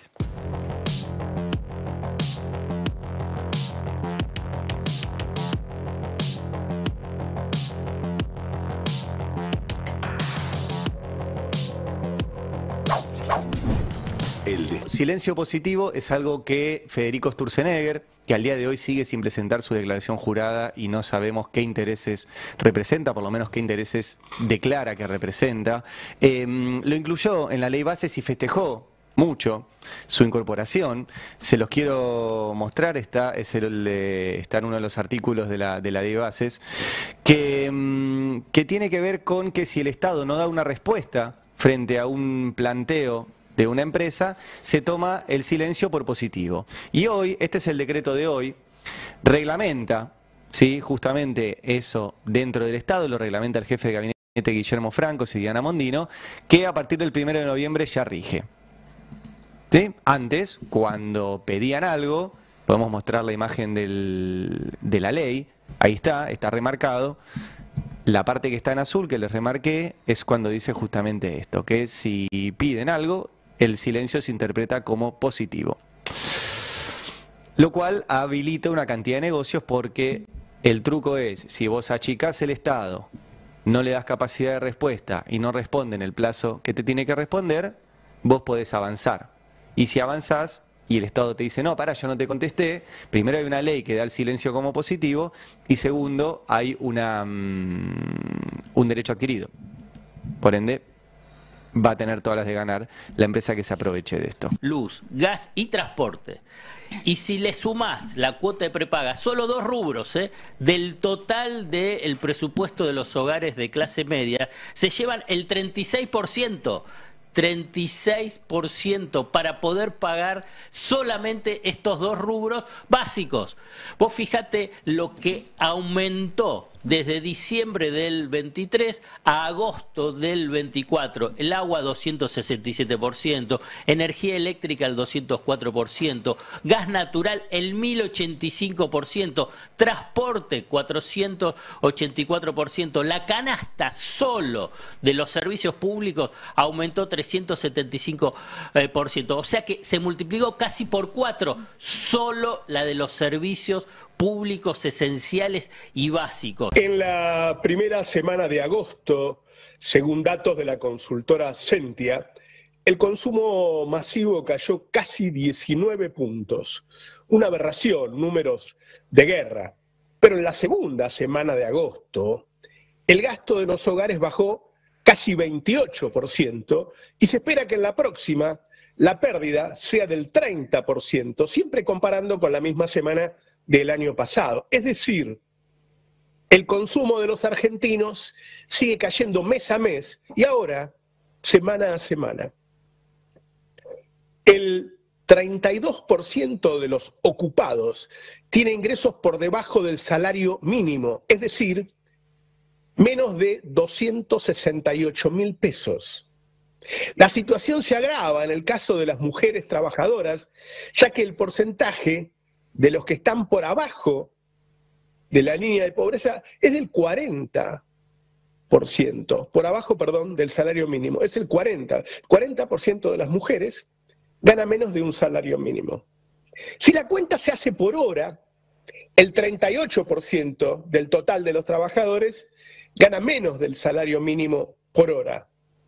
Y si vamos a la población asalariada informal, los que no están en blanco, los no registrados, el 46% gana menos del salario mínimo. Es decir, casi uno de cada dos trabajadores gana menos de 268 mil pesos.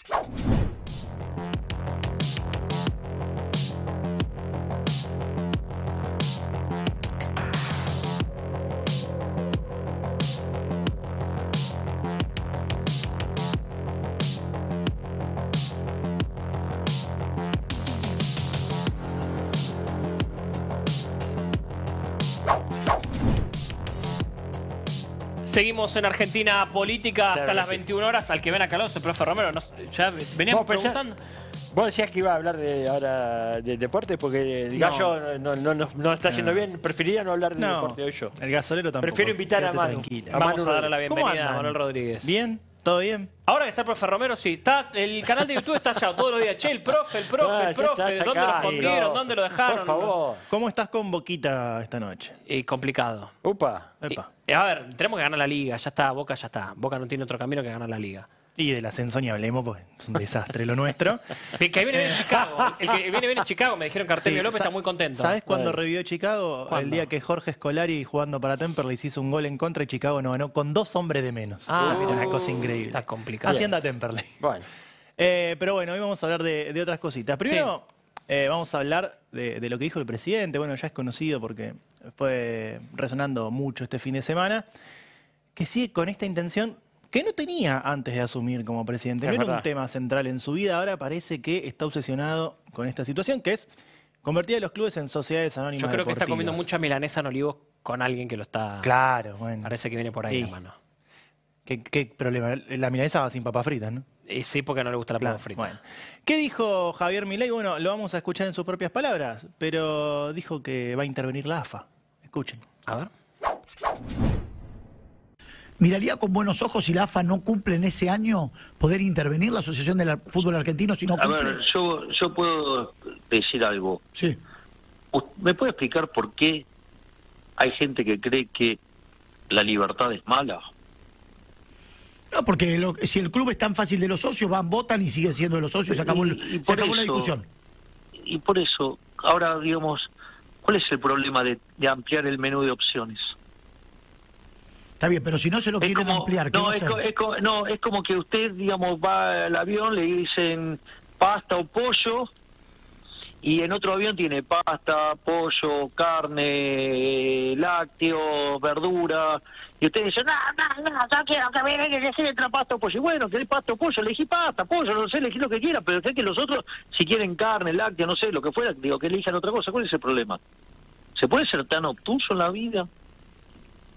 Bueno. ¿Intervención? ¿No? ¿Sí? ¿Ni? Yo voy a avanzar en la agenda de la libertad. Perfecto.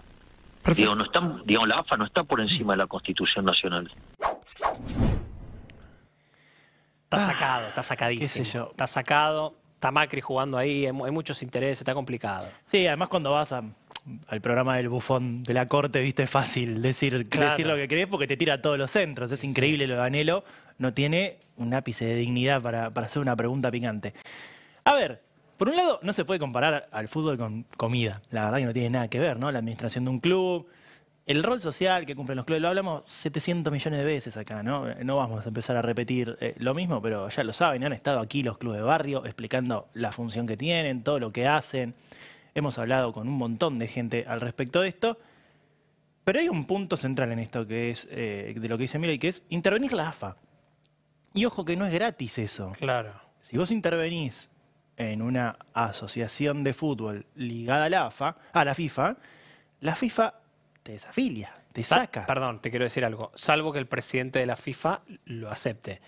El Sí. presidente de la FIFA por ahora es Gianni Infantino. El que quiere ser presidente de la FIFA es un hombre llamado Mauricio Macri. Sí, vamos a ver cómo le sale, ¿no? Falta un montón, pero su objetivo final, su plan, a él no le interesa nada. Le interesan obviamente los negocios y demás, pero a nivel poder no le interesa ser presidente de Argentina, no le interesa volver a ser eh, presidente de Boca, no le interesa ser otra vez jefe de gobierno porteño. Macri quiere ser presidente de la FIFA. Vamos a ver qué pasa. Ojo que no, eso no es Argentina, no es lo mismo. No, Ahí no, más bien. Pero no se podés está. usar eh, trolls. A mí en su entorno lo que complicado. me dijeron es él quiere ser presidente de la FIFA. No sé cuándo, falta, pero su objetivo Veremos, final veremos. es ser presidente de la FIFA. Atención con eso, porque viene a colación de esto también. Sí, por pero supuesto. Hay un tema, es cierto, ese es el tema, el tema central. Ahora, sobre el, el argumento que da Milei también, me resulta interesante cuando él dice, eh, bueno, eh, yo voy a jugar por la libertad. Y la verdad es que los clubes afiliados al AFA, que tienen votaciones periódicas, Claro. los dirigentes de los clubes, votaron en contra. Claro. O sea, la- eso también es la libertad. Tal cual, tal y él lo que quiere hacer es desde el Estado intervenir la AFA. O sea, eh, quiere usar el Estado, no quiere usar la libertad. Es absolutamente contrario a lo que su Y además, eh, la libertad es tener el poder de decidir. Y si lo- la AFA decide que dentro de sus normas no hay sociedades anónimas deportivas, está siendo totalmente libre en su elección. Claro. La AFA, de hecho, en sus comunicados, no se opone a que existan las sociedades anónimas deportivas. Dice, armen su liga y ganen sus campeonatos. Claro. Bueno. ¿Resiste el Chiquitapia? Por ahora está resistiendo. Por ahora está resistiendo. bancando. Va a Eh, depender mucho también de, ojo, las elecciones que empieza a eh, tener lugar en los clubes. El primero que puso dentro de su campaña el tema de las sociedades anónimas deportivas sobre la mesa es Diego Milito, ¿no? el eh, ídolo de Racing, que ahora va a buscar ser presidente de Racing. ¿Qué Claro. dijo en su discurso de, de Es presentación, esto, Diego Milito? Mm, Yo creo que Racing no tiene que ser una sociedad anónima deportiva. Bien, bien. Y subrayo, subrayo el que Racing, ¿no? Que Racing no tiene que ser. Claro. OJ, porque todos los clubes de primera división tienen un representante en el comité ejecutivo y votan. Ahora, si vos crees que Racing no tiene que ser, Quiere decir que lo demás sí. pero pones a alguien en el comité ejecutivo que dice, bueno, le vamos a dar la libertad, entre comillas, a los clubes de decidir, capaz Racing no lo sea, pero le estás cagando la vida a otro Bueno, montón de es clubes. la línea Cunio Libarona. Cunio Libarona dice, Claro. no, no, Racing está todo bien, eh, se mantiene bien, tiene que seguir siendo eh, un club este, no, de, los los socios. socios y demás. Pero... El resto que haga lo que. Y después hace una militancia gigante de las sociedades a anónimas. Racing Sí, le sí. fue muy mal con las privatizaciones. Tiene Por una supuesto. historia eh, Sí, particular. claro, en ese exactamente. Y hay que decir algo, los clubes son privados de sus socios, de lo que pagan la cuotita Ah, está todos bien, los está meses, de bien. todo lo que entran todos Tenés los días. razón, es verdad. Hoy la gente de Temperley estuvo pintando la tribuna. ¿Eso lo va a hacer la sociedad anónima? No, no lo va a hacer la sociedad anónima. A ver, veremos qué, qué pasa en el futuro, pero ojo con estas definiciones de eh, dirigentes o futuros dirigentes que dicen, yo creo que en mi club no. ¿Y el resto? No, tiene que ser en el fútbol argentino la respuesta. El fútbol argentino se consolidó de otra manera, se armó de otra manera. Los clubes en Argentina tienen un rol que no tienen en el resto del mundo. Nos ponen ejemplo de Inglaterra, España, donde también fracasan, pero nosotros estamos en Sudamérica, somos Argentina y todos los ejemplos que tenemos alrededor son malos. Entonces, ojo, ojo con esta situación. El que habló hoy al respecto de esta situación y de otras situaciones relacionadas es Mariano Cowen, el presidente de Gimnasia y Esgrima La Plata, que eh, dejó muy bien claro cuál es la postura del club del que justamente es hincha. Y lo pongo con signo de pregunta, Federico Sturzenegger. Escuchen. los socios elegimos, elegimos la forma que el club tiene que estar conducido, y cuando el club tiene, está bien administrado y tiene, y tiene una ganancia, esto se vuelca en el club nuevamente, eh, me tendrían que explicar muy acabadamente dónde va este, este excedente cuando es un azar, o, o tantas otras formas que están ahora en boga, están hablando, en gimnasia se da mucho, que están, hay mucha gente hablando de, de fideicomisos, o hablan de aportes externos, Sí. y no hay que confundir las cosas, ¿viste? Ah. A mí me parece que una cosa es el aportante externo, el aporte externo, que de hecho el fútbol ya lo tiene, eh, los derechos TV son, son aportes externos, eh, el marketing, la publicidad son aportes externos, y esos activos que muchos dicen activos intangibles, los manejamos los dirigentes, los administramos, y con eso las instituciones tienen que. Pero lo que pasa es que a veces tratan de poner instituciones que no fueron bien administradas y tratan de que eso sea el puntapié inicial para otro tipo de, de ideologías, otro tipo de cosas que para mí son foráneas, que no tienen que ver con, con el fútbol argentino o con, con cómo están conformados los clubes en Argentina. Bueno, ahí el presidente destacando la importancia ¿no? de, de los clubes y por qué se rechaza una sociedad anónima. Pero no se quedó ahí Mariano Cowen y fue eh, directo contra Federico Sturzenegger. Aunque no lo nombre en un principio, queda muy claro de quién habla y queda muy claro lo, lo que dice sobre esa persona. ¿Qué tan hincha es Federico Sturzenegger? Bueno, lo define el presidente de gimnasia. Y aparte voy a, a temas más prácticos yo. ¿Vendría un asad eh, por el hockey de gimnasia? ¿Vendría un asad por el futsal, por el patín? Yo creo que no. O sea, van por el fútbol profesional. Claro. Porque donde en teoría hay plata, donde en teoría administrando. Nosotros con el fútbol profesional bancamos el resto de la, de la institución. Y es así. Bien, ahí estaba el presidente de gimnasia explicando esta situación. Va a venir un asad y va a sostener el hockey, eh, el patín, eh, todos los deportes amateur. No, nosotros con el fútbol, con el ingreso que hacemos del fútbol, además sostenemos el club. ¿no? Es al revés. Y se quieren llevar ese negocio y destruir los clubes. Ahora sí, ¿qué dijo sobre Sturzenegger, el presidente de Gimnasia de La Plata? Durísimo, escuchen. Primero quiero que digan qué figura, cómo entrarían. Segundo quiero la garantía para el club. Porque también está lleno de, de- de cuestiones con sociedades anónimas deportivas en el mundo que han fracasado. Y que la de Francia es un claro ejemplo de lo que está pasando. Con dos instituciones muy grandes. Sí. Eh, pero creo que no respetan la idiosincrasia de una institución. Eh, yo entiendo, y uno de los recursos o ingresos genuinos que tienen las instituciones es la cuota societaria. Y mucha de la gente que habla sobre un club determinado, como en este caso lo que dijimos ustedes recién, eh, o no son socios de gimnasia, o no o dejaron de pagar las cuotas, son socios de poquito tiempo. Entonces digo, ¿qué interés tenés por un club al final, al final has adherido con una cuota social durante toda tu vida siendo, siendo hincha, ¿no? Me resulta llamativo. O sea, Sturzenegger, que vos decís, se hizo socio para meterse en el negocio, digamos. No, no sé, pero es socio hace poco. Entonces, yo soy socio de garantía de gimnasia. Mm. Y adhiero a un estatuto cuando me hago socio. Eh, a un estatuto que después quizás pretendo cambiar. Entonces digo, quizás sería bueno también que busquen nuevas formas de instituciones o generen otras. Qué cosa, ¿no? No pagás la cuota de tu club y después lo querés privatizar. Lo prendió fuego. Sí. Lo prendió fuego. Y encima no es una persona que le cueste pagar la cuota del Ah, club, lo muchacho. prendió fuego. Si la paga con la nuestra encima. Terrible. Es terrible. increíble. Bueno, y como siempre estamos viendo qué pasa en el mundo con las sociedades anónimas, le voy a dejar un testimonio más. En este caso de, eh, mira, me tendré que poner de pie, pero no vamos a complicar a, a la cámara, de un campeón del mundo, de Mario Alberto Kempes. Hablando en este caso de la situación del Valencia España, que está pasando un muy mal momento. Y claro, empiezan a caer las críticas sobre el empresario que es dueño de la mayoría de las acciones del club. Que nada tiene que ver con el fútbol ni con la historia del Valencia, ni siquiera es español, o sea, para, para entender, ¿no? Ni siquiera es un, vino de un territorio futbolero. Escuchen a Mario Alberto Kempes, un hombre que ha jugado al fútbol, que ha ganado campeonato del mundo, que ha ganado infinidad de, de trofeos y que además conoce cómo es este negocio desde adentro. Escúchenlo porque es contundente en lo que dice.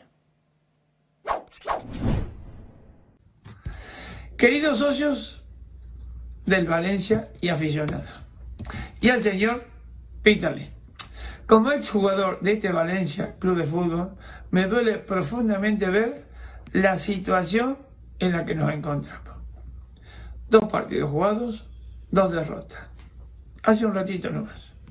Esto no es el Valencia que conocemos ni el que merece o lo que nos merecemos todos. El Valencia es más que un club de fútbol. Es una institución rica de historia, pasión y un legado que debe ser respetado. Quiero dirigirme directamente al señor Peter Lee. El Valencia Club de Fútbol necesita alguien que lo lidere, pero que esté comprometido con el éxito con la historia. ¿Son tiempos difíciles? No lo vamos a negar. Pero no podemos permitir que la grandeza de este club se pierda en la mediocridad. Si este señor no se siente en condiciones de llevar a este club a donde pertenece, le pido respetuosamente, con el corazón, que haga un paso al lado y que ceda el control a alguien que pueda devolverle al Valencia su gloria. El Valencia es un símbolo de orgullo para los seguidores y todos aquellos que queremos. Bueno, no hay nada más nada que decir, la verdad. Contundente Kempe que jugó en el Valencia. Sí, bueno, sí, además. bien en- también. en, España se supone que es re exitoso este modelo. Desastre. Va, no sé, Scioli hace unos años decía en un proyecto de ley que no era exitoso este modelo, que ahora defiende. Bueno, No sé. Ah, qué sé yo. Terrible, la verdad, lo que, va- lo que está pasando y lo que va a pasar con el fútbol en nuestro país. Ojalá en un momento haya sido una mala anécdota y no tengamos que padecer toda esta bestialidad. Ojalá. Manu Rodríguez, gracias como siempre por traernos esto que se, eh, no está en los medios. Esto que cuenta Manuel no está en los medios. Está acá No solamente. no está, no está en debate. No, cierto. tal cual. Así que gracias, Manu. Nosotros seguimos, como siempre, que nos queda media horita y nos queda un montón. Viene Juli Estrada. Y antes, te invito a repasar lo que pasó en el estadio hoy. Mira. Señor Dire. Sí. Sac. ¿Qué es eso, faja, faja? No sé qué. El nuevo canal del Estado para niños. Paca, paca. Soy No, no, faja, faja, faja, faja. ¿No ves que dice Faja, faja, Ahí por- está. Faja, Gracias, faja Dire, por poncharme llama. directamente. Ahí está. Sí, faja, faja. El nuevo canal. Y el niño no se llama más Zamba. ¿Cómo se, se llama, llama? Martín, le dicen Tincho. Y no es negro, está bronceado porque recién vino de Miami. ¿Pero qué? ¿Usted va a cambiar todos los contenidos? Vamos a cambiar todos los contenidos, vamos a hacer contenidos acordes a la familia, a la gente de bien, a gente que las fuerzas del cielo las pueda apoyar y no al zurdaje ese, gente hablando de San Martín, seamos libres que lo demás no importa nada. nada. Pero un poquito, espere, yo Sí, no, no me queda claro. ¿Cómo estás, Bernus? Siempre Macri. ella con su know-how, con su warfare. Ya veo que tenés un Francisco Ayel. Francisco Ayala. Es un Francisco Ayala. Lo dijo en inglés. ¿Usted lo conoce? Sí, claro. pues, a la era un hombre elegante. Usted ahora no, pero era un hombre elegante. Bueno, porque ahora las circunstancias nos han llevado a cambiar. Y si hay que cambiar, ya me lo dijo mi amigo Durán Mano, me dijo, sí, sí, tienes que cambiar, cambia, cambia, sí, cambia. Silencio positivo es algo que Federico Sturzenegger, que al día de hoy sigue sin presentar su declaración jurada y no sabemos qué intereses representa, por lo menos qué intereses declara que representa, eh, lo incluyó en la ley bases y festejó mucho su incorporación. Se los quiero mostrar, está, es el, está en uno de los artículos de la, de la ley bases, que, mm, que tiene que ver con que si el Estado no da una respuesta frente a un planteo de una empresa, se toma el silencio por positivo. Y hoy, este es el decreto de hoy, reglamenta Sí, justamente eso dentro del Estado lo reglamenta el jefe de gabinete Guillermo Franco y Diana Mondino, que a partir del 1 de noviembre ya rige. ¿Sí? Antes, cuando pedían algo, podemos mostrar la imagen de la ley, ahí está, está remarcado. La parte que está en azul, que les remarqué, es cuando dice justamente esto, que si piden algo, el silencio se interpreta como positivo. Lo cual habilita una cantidad de negocios porque el truco es, si vos achicás el Estado, no le das capacidad de respuesta y no responde en el plazo que te tiene que responder, vos podés avanzar. Y si avanzás y el Estado te dice, no, para, yo no te contesté, primero hay una ley que da el silencio como positivo y segundo hay mm, un derecho adquirido. Por ende, va a tener todas las de ganar la empresa que se aproveche de esto.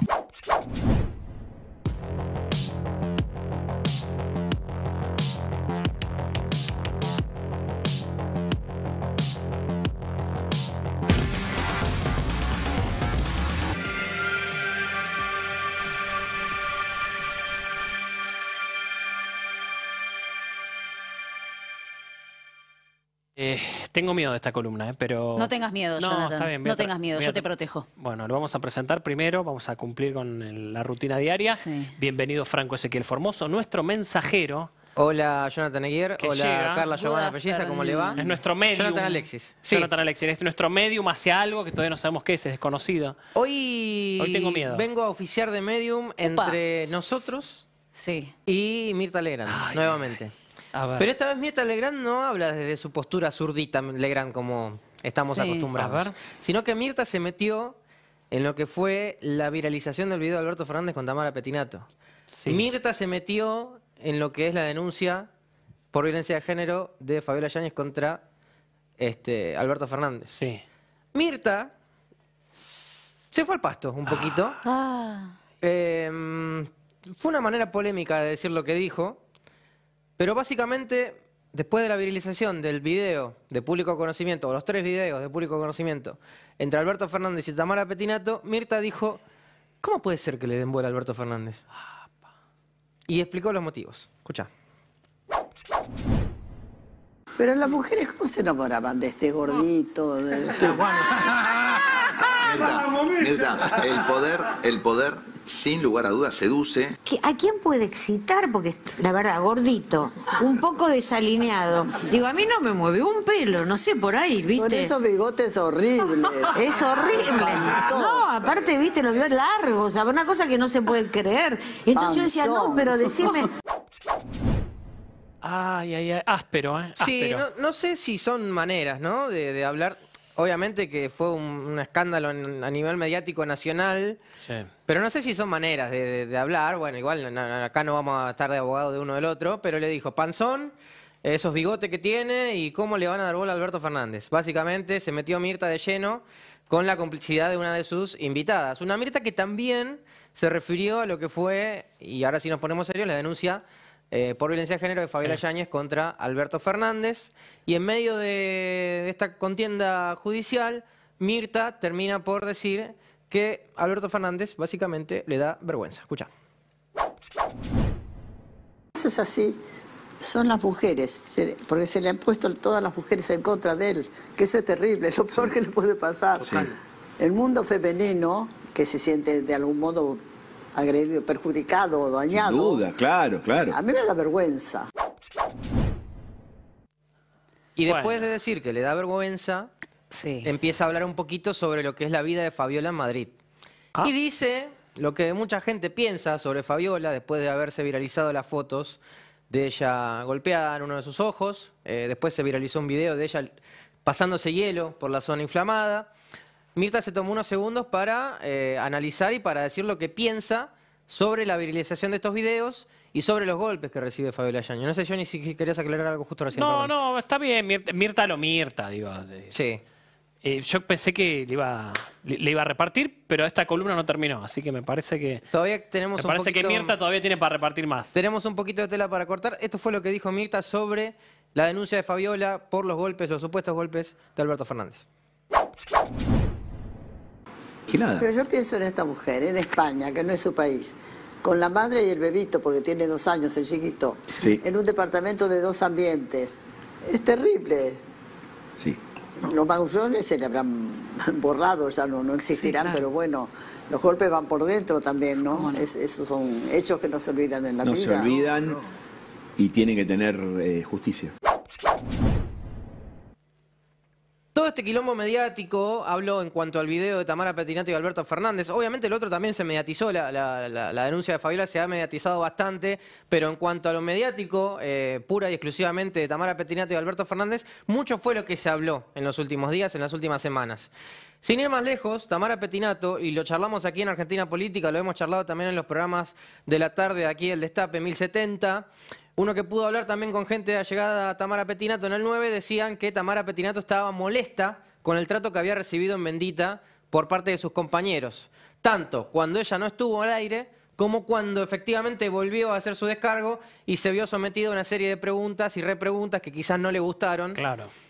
Y hoy empezó a correr fuerte el rumor de que efectivamente no va a volver al programa de, de Beto Casela. Apa. Beto le había pedido tomarse unos días para que descanse, para que reflexione, para que esté un poco más tranquila. La respuesta de Tamara fue, yo me doy por despedida. Eso fue lo que dijo Beto Casela. Después Tamara Petinato salió en Instagram a decir, yo no renuncié a ningún lado, yo no soy así. Y hoy Beto otra vez reflota la idea de que Tamara renunció a Bendita, que pegó el portazo, y confiesa que a ellos, a ellos, a el conductor, a ellos compañeros, a ellos canal, no le gustó cómo se manejó Tamara Petinato cuando volvió. Porque no volvió de una manera, eh, creen ellos, tranquila. Volvió como en una especie de combate a la defensiva de lo que iban a poder decir sus compañeros. Escucha. Yo, si ustedes me proponen esto, me doy por despedida, contesta ella. No vuelvo. Le dejé un mensaje yo, le dije, este, Tamara, la idea de que te tomes unos días mía. Yo te lo, estoy asumiendo yo y te lo estoy comunicando. Si vos no querés venir más, no hay ningún problema. Mi programa dije, ¿saben qué? Yo no tengo que estar mediando, gestionando todo esto, que es, es tarea de un gerente. Así que yo me salgo de acá y ahora que decida el canal. Claro, Beto dice, ahora que decida el canal, pero fue en el momento de hace un par de días, cuando él habla con Tamara Petinato, después Tamara dice que ella no renunció, él dice, bueno, yo me corro. Porque en varias oportunidades le preguntaron sobre el tema, llegó a decir, la verdad que ya estoy, estas palabras las digo yo, está hinchado las bolas, Beto, de eh, hablar de Tamara Petinato, y él dijo, no voy a hablar más de este tema, voy a hablar de cosas que me parezcan importantes porque termina gastándolo a él, y porque hasta en un punto el programa Bendita se termina corriendo del eje. Claro. Porque ya no es vamos a ver Bendita, vamos a ver si está Tamara Petinato. Entonces está por esa senda Beto de correr del foco a Tamara Petinato. Una Tamara Petinato que según Beto Casele, con esto cerramos la columna, volvió en un modo soberbio, según lo que dice Beto, y esa quizás es una de las razones por las cuales terminó saliendo del programa a raíz de la virilización del video con Alberto Fernández. Escucha. Cuando ella vuelve, que da su explicación tanto en la radio como en Bendita, a ninguno le gustó la actitud con la que volvió. Un poquito, con un tonito un poco mandón, por no decirte soberbia, en lugar de, si bien insisto, ella no fue la que lo viralizó, estaba ahí sentada en el sillón de Rivadavia, por lo cual podría haber venido con una actitud más, chico, le generé un quilombo, eh, eh, eh, digamos en el corte, no en la... Sí, eh, entiendo, entiendo. No tuvo nada de eso, nada. Bueno, esta fue la columna del día. Tenemos, tuvimos varios temas, tuvimos una mirada variopinta de la situación de Tamara Petinato con Alberto Fernández, lo que pasó con Fabiola Yáñez, lo que dijo Mirta Legrand y finalmente Beto Casela confirmando los problemas que tiene con Tamara Petinato, que parece no va a volver a Canal 9. Mensajero, muchísimas gracias. Yo tenía un poquito de miedo, pero la verdad que Sobreviviste, Jonathan. surfeamos Te- la ola. Te diría. prometí que te iba a estar protegiendo. En un ratito vamos a estar con Julia Estrada aquí en la mesa de Argentina Política, así que si quieren vayan, sírvanse un vaso de agua y quédense que ya volvemos. luz, gas y transporte. Y si le sumás la cuota de prepaga, solo dos rubros ¿eh? del total del presupuesto de los hogares de clase media, se llevan el 36%. 36% para poder pagar solamente estos dos rubros básicos. Vos fíjate lo que aumentó desde diciembre del 23 a agosto del 24. El agua 267%, energía eléctrica el 204%, gas natural el 1085%, transporte 484%, la canasta solo de los servicios públicos aumentó 375%. eh, por ciento. O sea que se multiplicó casi por cuatro solo la de los servicios públicos esenciales y básicos. En la primera semana de agosto, según datos de la consultora Sentia, el consumo masivo cayó casi 19 puntos. Una aberración, números de guerra. Pero en la segunda semana de agosto, el gasto de los hogares bajó casi 28% y se espera que en la próxima la pérdida sea del 30%, siempre comparando con la misma semana del año pasado. Es decir, el consumo de los argentinos sigue cayendo mes a mes y ahora semana a semana. El 32% de los ocupados tiene ingresos por debajo del salario mínimo, es decir, menos de 268 mil pesos. La situación se agrava en el caso de las mujeres trabajadoras, ya que el porcentaje de los que están por abajo de la línea de pobreza es del 40%, por abajo, perdón, del salario mínimo, es el 40%. 40% de las mujeres gana menos de un salario mínimo. Si la cuenta se hace por hora, el 38% del total de los trabajadores gana menos del salario mínimo por hora. Y si vamos a la población asalariada informal, los que no están en blanco, los no registrados, el 46% gana menos del salario mínimo. Es decir, casi uno de cada dos trabajadores gana menos de 268 mil pesos. Y vos me decís temas de economía, ¿no? Como el déficit. Eh, si mm, yo escucho a alguien que dice, Brasil tiene déficit fiscal, entonces el déficit fiscal no es un problema, te digo, pará. Brasil tiene déficit fiscal porque tiene cómo financiarlo, porque la política monetaria de Brasil es una política que acá el, el- movimiento nacional y popular, como se la llamaría ortodoxa, de tasas altísimas. Entonces, yo lo que le pido a los economistas que están más cerca de Cristina o de la convención, que le expliquen a la gente y que en un momento donde además el peronismo no tiene tanto que, tiene, tiene que reconstruir, no que preservar, tiene tres o cuatro gobernadores, por ejemplo, tiene muchas intendencias en la provincia de Buenos Aires, pero tiene tres o cuatro gobernadores, la idea de empezar a discutir las cosas más seriamente, que no significa nada más que eso. Eh, con lo cual, esa discusión política. Discusión política, exactamente. Señor Dire. Sí. Sac. ¿Qué es eso, faja, faja? No sé qué. El nuevo canal del Estado para niños. Paca, paca. Soy el- No, no, faja, faja, faja, faja. ¿No ves que dice Faja, faja, Ahí por- está. Faja, Gracias, Dire, por poncharme llama. directamente. Ahí está. Sí, faja, faja. El nuevo canal. Y el niño no se llama más Zamba. ¿Cómo se, se llama, llama? Martín, le dicen Tincho. Y no es negro, está bronceado porque recién vino de Miami. ¿Pero es que usted va a cambiar todos los contenidos? Vamos a cambiar todos los contenidos, vamos a hacer contenidos acordes a la familia, a la gente de bien, a gente que las fuerzas del cielo las pueda apoyar y no al zurdaje ese, gente hablando de San Martín, seamos libres que lo demás no importa nada. nada. Pero un poquito, espere. Yo Sí, no, no me queda claro. ¿Cómo estás, Usted era Bernus? asesor de Siempre ella con su know-how, con su Orfer. Ya veo que tenés un Francisco Ayel.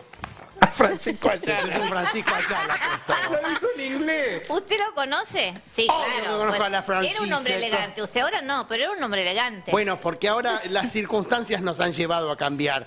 Y si hay que cambiar, ya me lo dijo mi amigo Durán Mar, me dijo, sí, sí, tienes que cambiar, cambia, cambia, sí, cambia.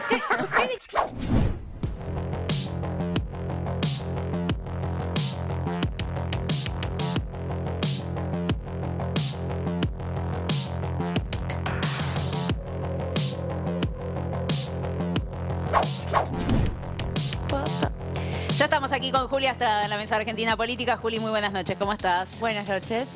Muy bien, bueno, vamos a hablar de jubilaciones, ¿les parece? Porque estamos aquí a la espera de qué es lo que va a suceder con los jubilados en la República Argentina. Ley sancionada en el Congreso de la Nación, amenaza de veto presidencial. Bueno, vine a chiviar mi nota en, en otro portal. Le Ah, mandamos bueno. un beso a Roberto Navarro primero, Sí. pero voy a chiviar la nota del cohete de la luna porque escribimos ayer con Hernán Lecher Ay, un poco, un poco celoso. Bueno, dale. sobre... ¿Y vos qué saltás? Está bien, ¿eh? Tiene, tiene puesta la camiseta. Sí, dale. O sea, sí, por supuesto. Dale, loco. Muy bien, muy bien. Eh, igual. escribimos con Hernán Lecher ayer en el cohete de la luna esta trampa fiscal en la que se metió el gobierno solito, porque no quiere darle la plata a las jubilaciones, no quiere darle la plata a las universidades nacionales, pero sí a la CIDE. Y el Congreso la semana pasada le dijo no, a la CIDE no, a las universidades nacionales sí, a las jubilaciones también. Y estamos esperando porque anunciaron el veto, la semana pasada lo anunciaron, El es, es el veto más anunciado de la historia, pero no se publicó el veto. Porque están negociando, yo lo conté al principio y te lo digo a vos, Julia, que también sos diputada, acá en tu cara. En se tu está cara, negociando, se in está negociando para ver si tal vez, tal vez, no está descartado la posibilidad de que Milei finalmente haga un veto parcial. Como, no- anu- como anunció usted. sí, Claro. pero hay que esperar, quizás no se 2, da. 4 y 10. 2, 4 y Artículos 10. 2, 4 y 10. Pero hay que esperar. Por eso no salió el veto, tiene 10 días hábiles. Por ahora es veto total, lo dijo Milei, pero se está negociando por si tal vez eh, negocian para sacar un veto Claro. parcial. Con veto parcial te podés evitar los dos tercios de los votos en, en las cámaras. ¿Hay Y si no, o judicializar. hay veto? Cuatro letras de una palabra. Decilo, Ponemos Cristian. acá, José María. ¿La veto o no la veto? Todavía no la veto. No la veto. También Bien. suena como veto, igual, con B larga. Absolutamente. Lo cual tiene todo un Sí. significado. Pero- abre, un- abre una puerta de No, no. significación. Dejémosla en veto con B corta. Cerremos esa puerta por la Vamos Cerremos de nuevo con B esa corta. puerta, perfecto. Eh, y lo que contamos en esa nota, ya dijimos la semana pasada lo que significaba el aumento. Lo repito, 317 mil pesos para una jubilación mínima. ¿A usted le parece que con esto resolvemos el problema de los jubilados? No. A mí me parece que no. Claro que es una ley que reconoce que Milei les choreó la inflación de enero, que reconoce que una parte de las jubilaciones se pagan con bonos y que eso no puede ser librado a la discrecionalidad de Caputo, que tiene muchas ganas, incluso lo dijo, de eliminar el bono, y que además dice, che, inflación no alcanza, metámosle un cachito de RIPTE, o sea, aumento vía eh, reparto de la mejora salarial por encima de la inflación, para que por lo menos si a los salarios del sector privado, que son los que alimentan en una, eh, en una economía o en un sistema de reparto jubilatorio que es solidario intergeneracionalmente, esos salarios mejorando alimentan las jubilaciones presentes, bueno, que las jubilaciones reciban algo de eso también. Eso es lo que plantea la ley, mi ley no quiere. ¿Qué es lo que no quiere fundamentalmente?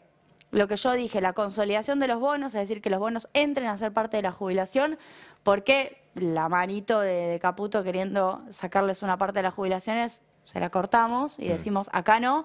Quieren vetar justo eso. Eh, A ver, si es veto parcial, vetan ese artículo, el artículo que dice consolidación de bonos adentro de la mínima. Tampoco quiero, obviamente, el RIPTE, porque ¿cuál es el negocio? Hubo un tobogán y ahora hay una especie de estabilización de ese tobogán. Es decir, es como una L, ¿no? Bueno, que se queden acá las jubilaciones, que nunca hagan esto.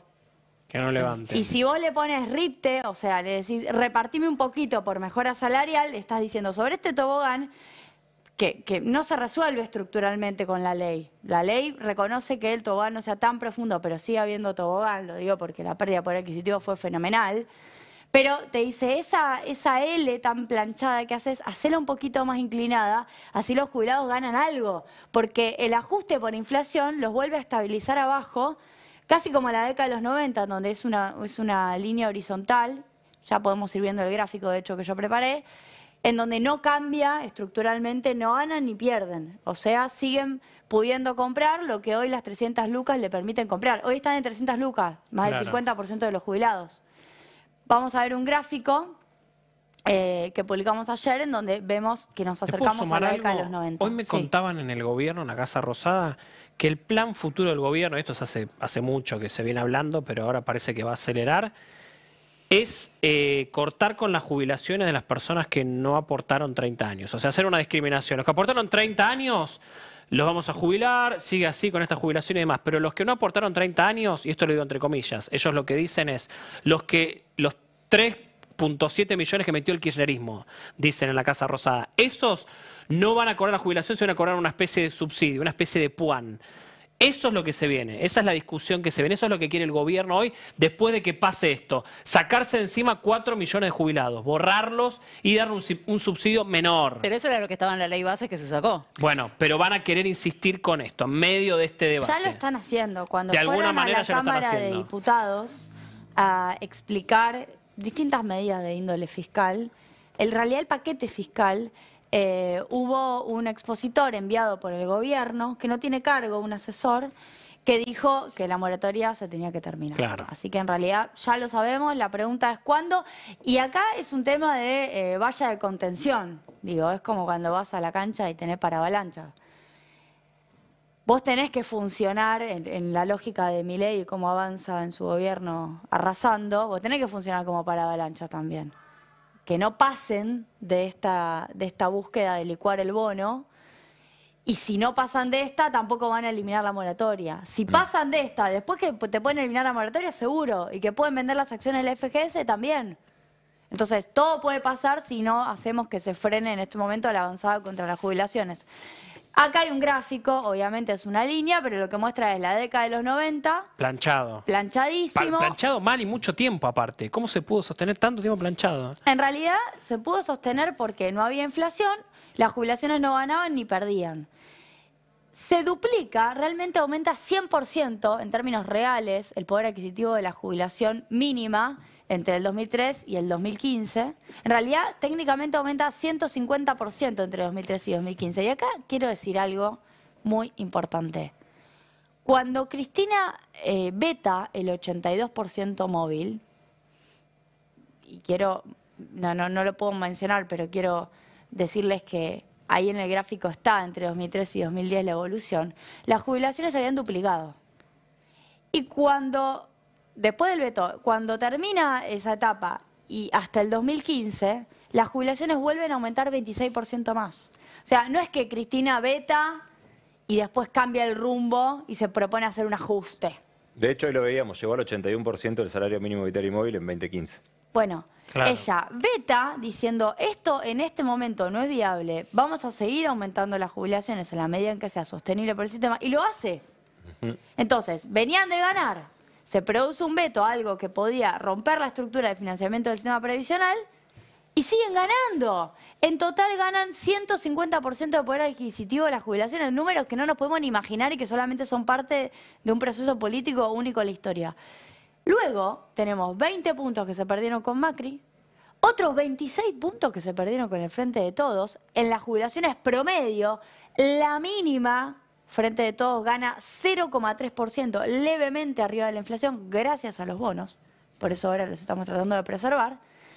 Y eh, actual gobierno de Milei perdieron más o menos otro 20% desde que ganó Milei.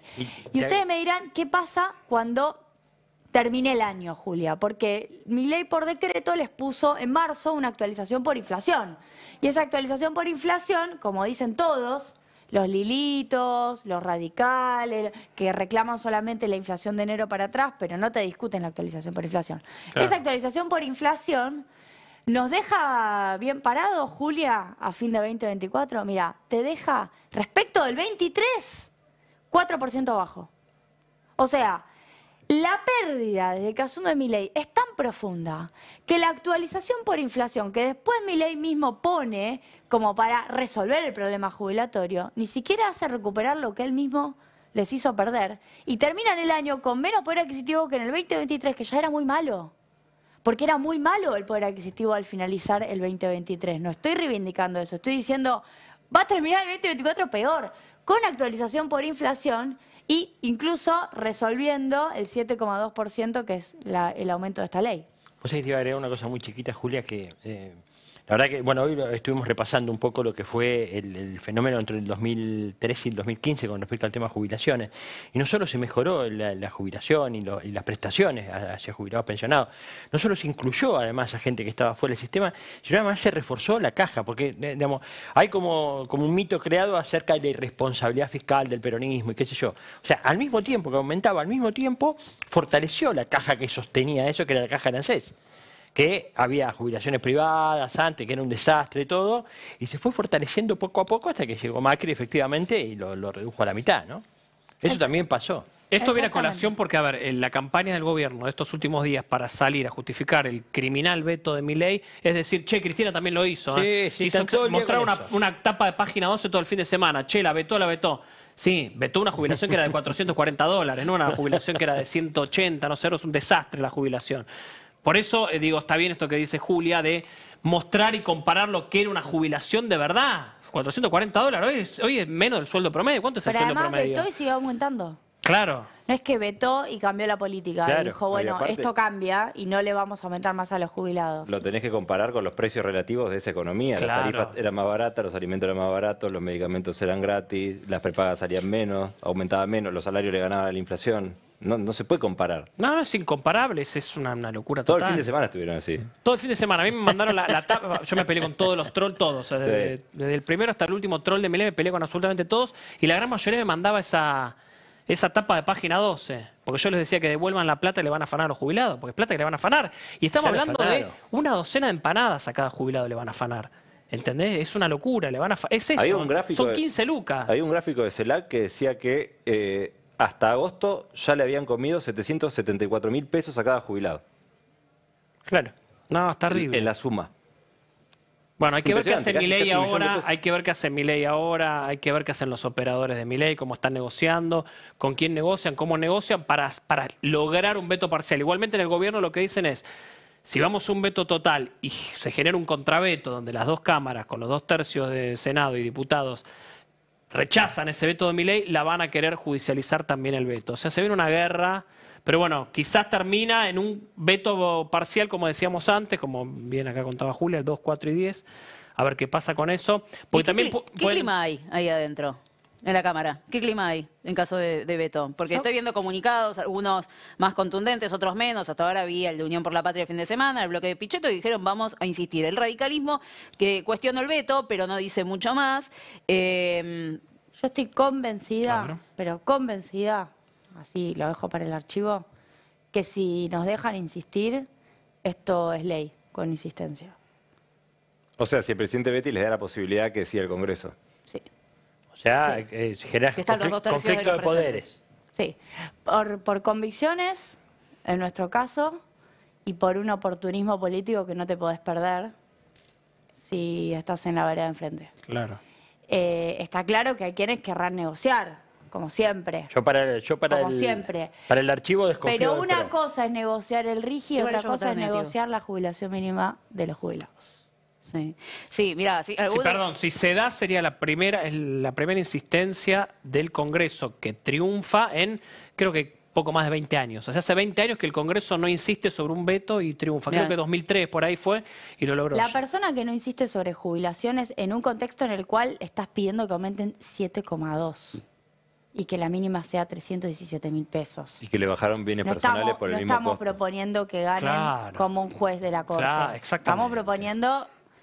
300 el- que no insiste, para mí en Argentina, eh, bueno, en Argentina nunca hay costo político, pero no debería poder seguir haciendo política. Sí, además de que es poco. Porque pues- es bastante... eh, lo de mi ley no tiene sentido, no tiene sustento, y es bastante sencillo bancar esto. El otro día lo escuchaba a Pichetto, que todo bien, pero fue candidato de Macri, que Macri hizo pelota a las jubilaciones. No tiene cara Pichetto para defender esto.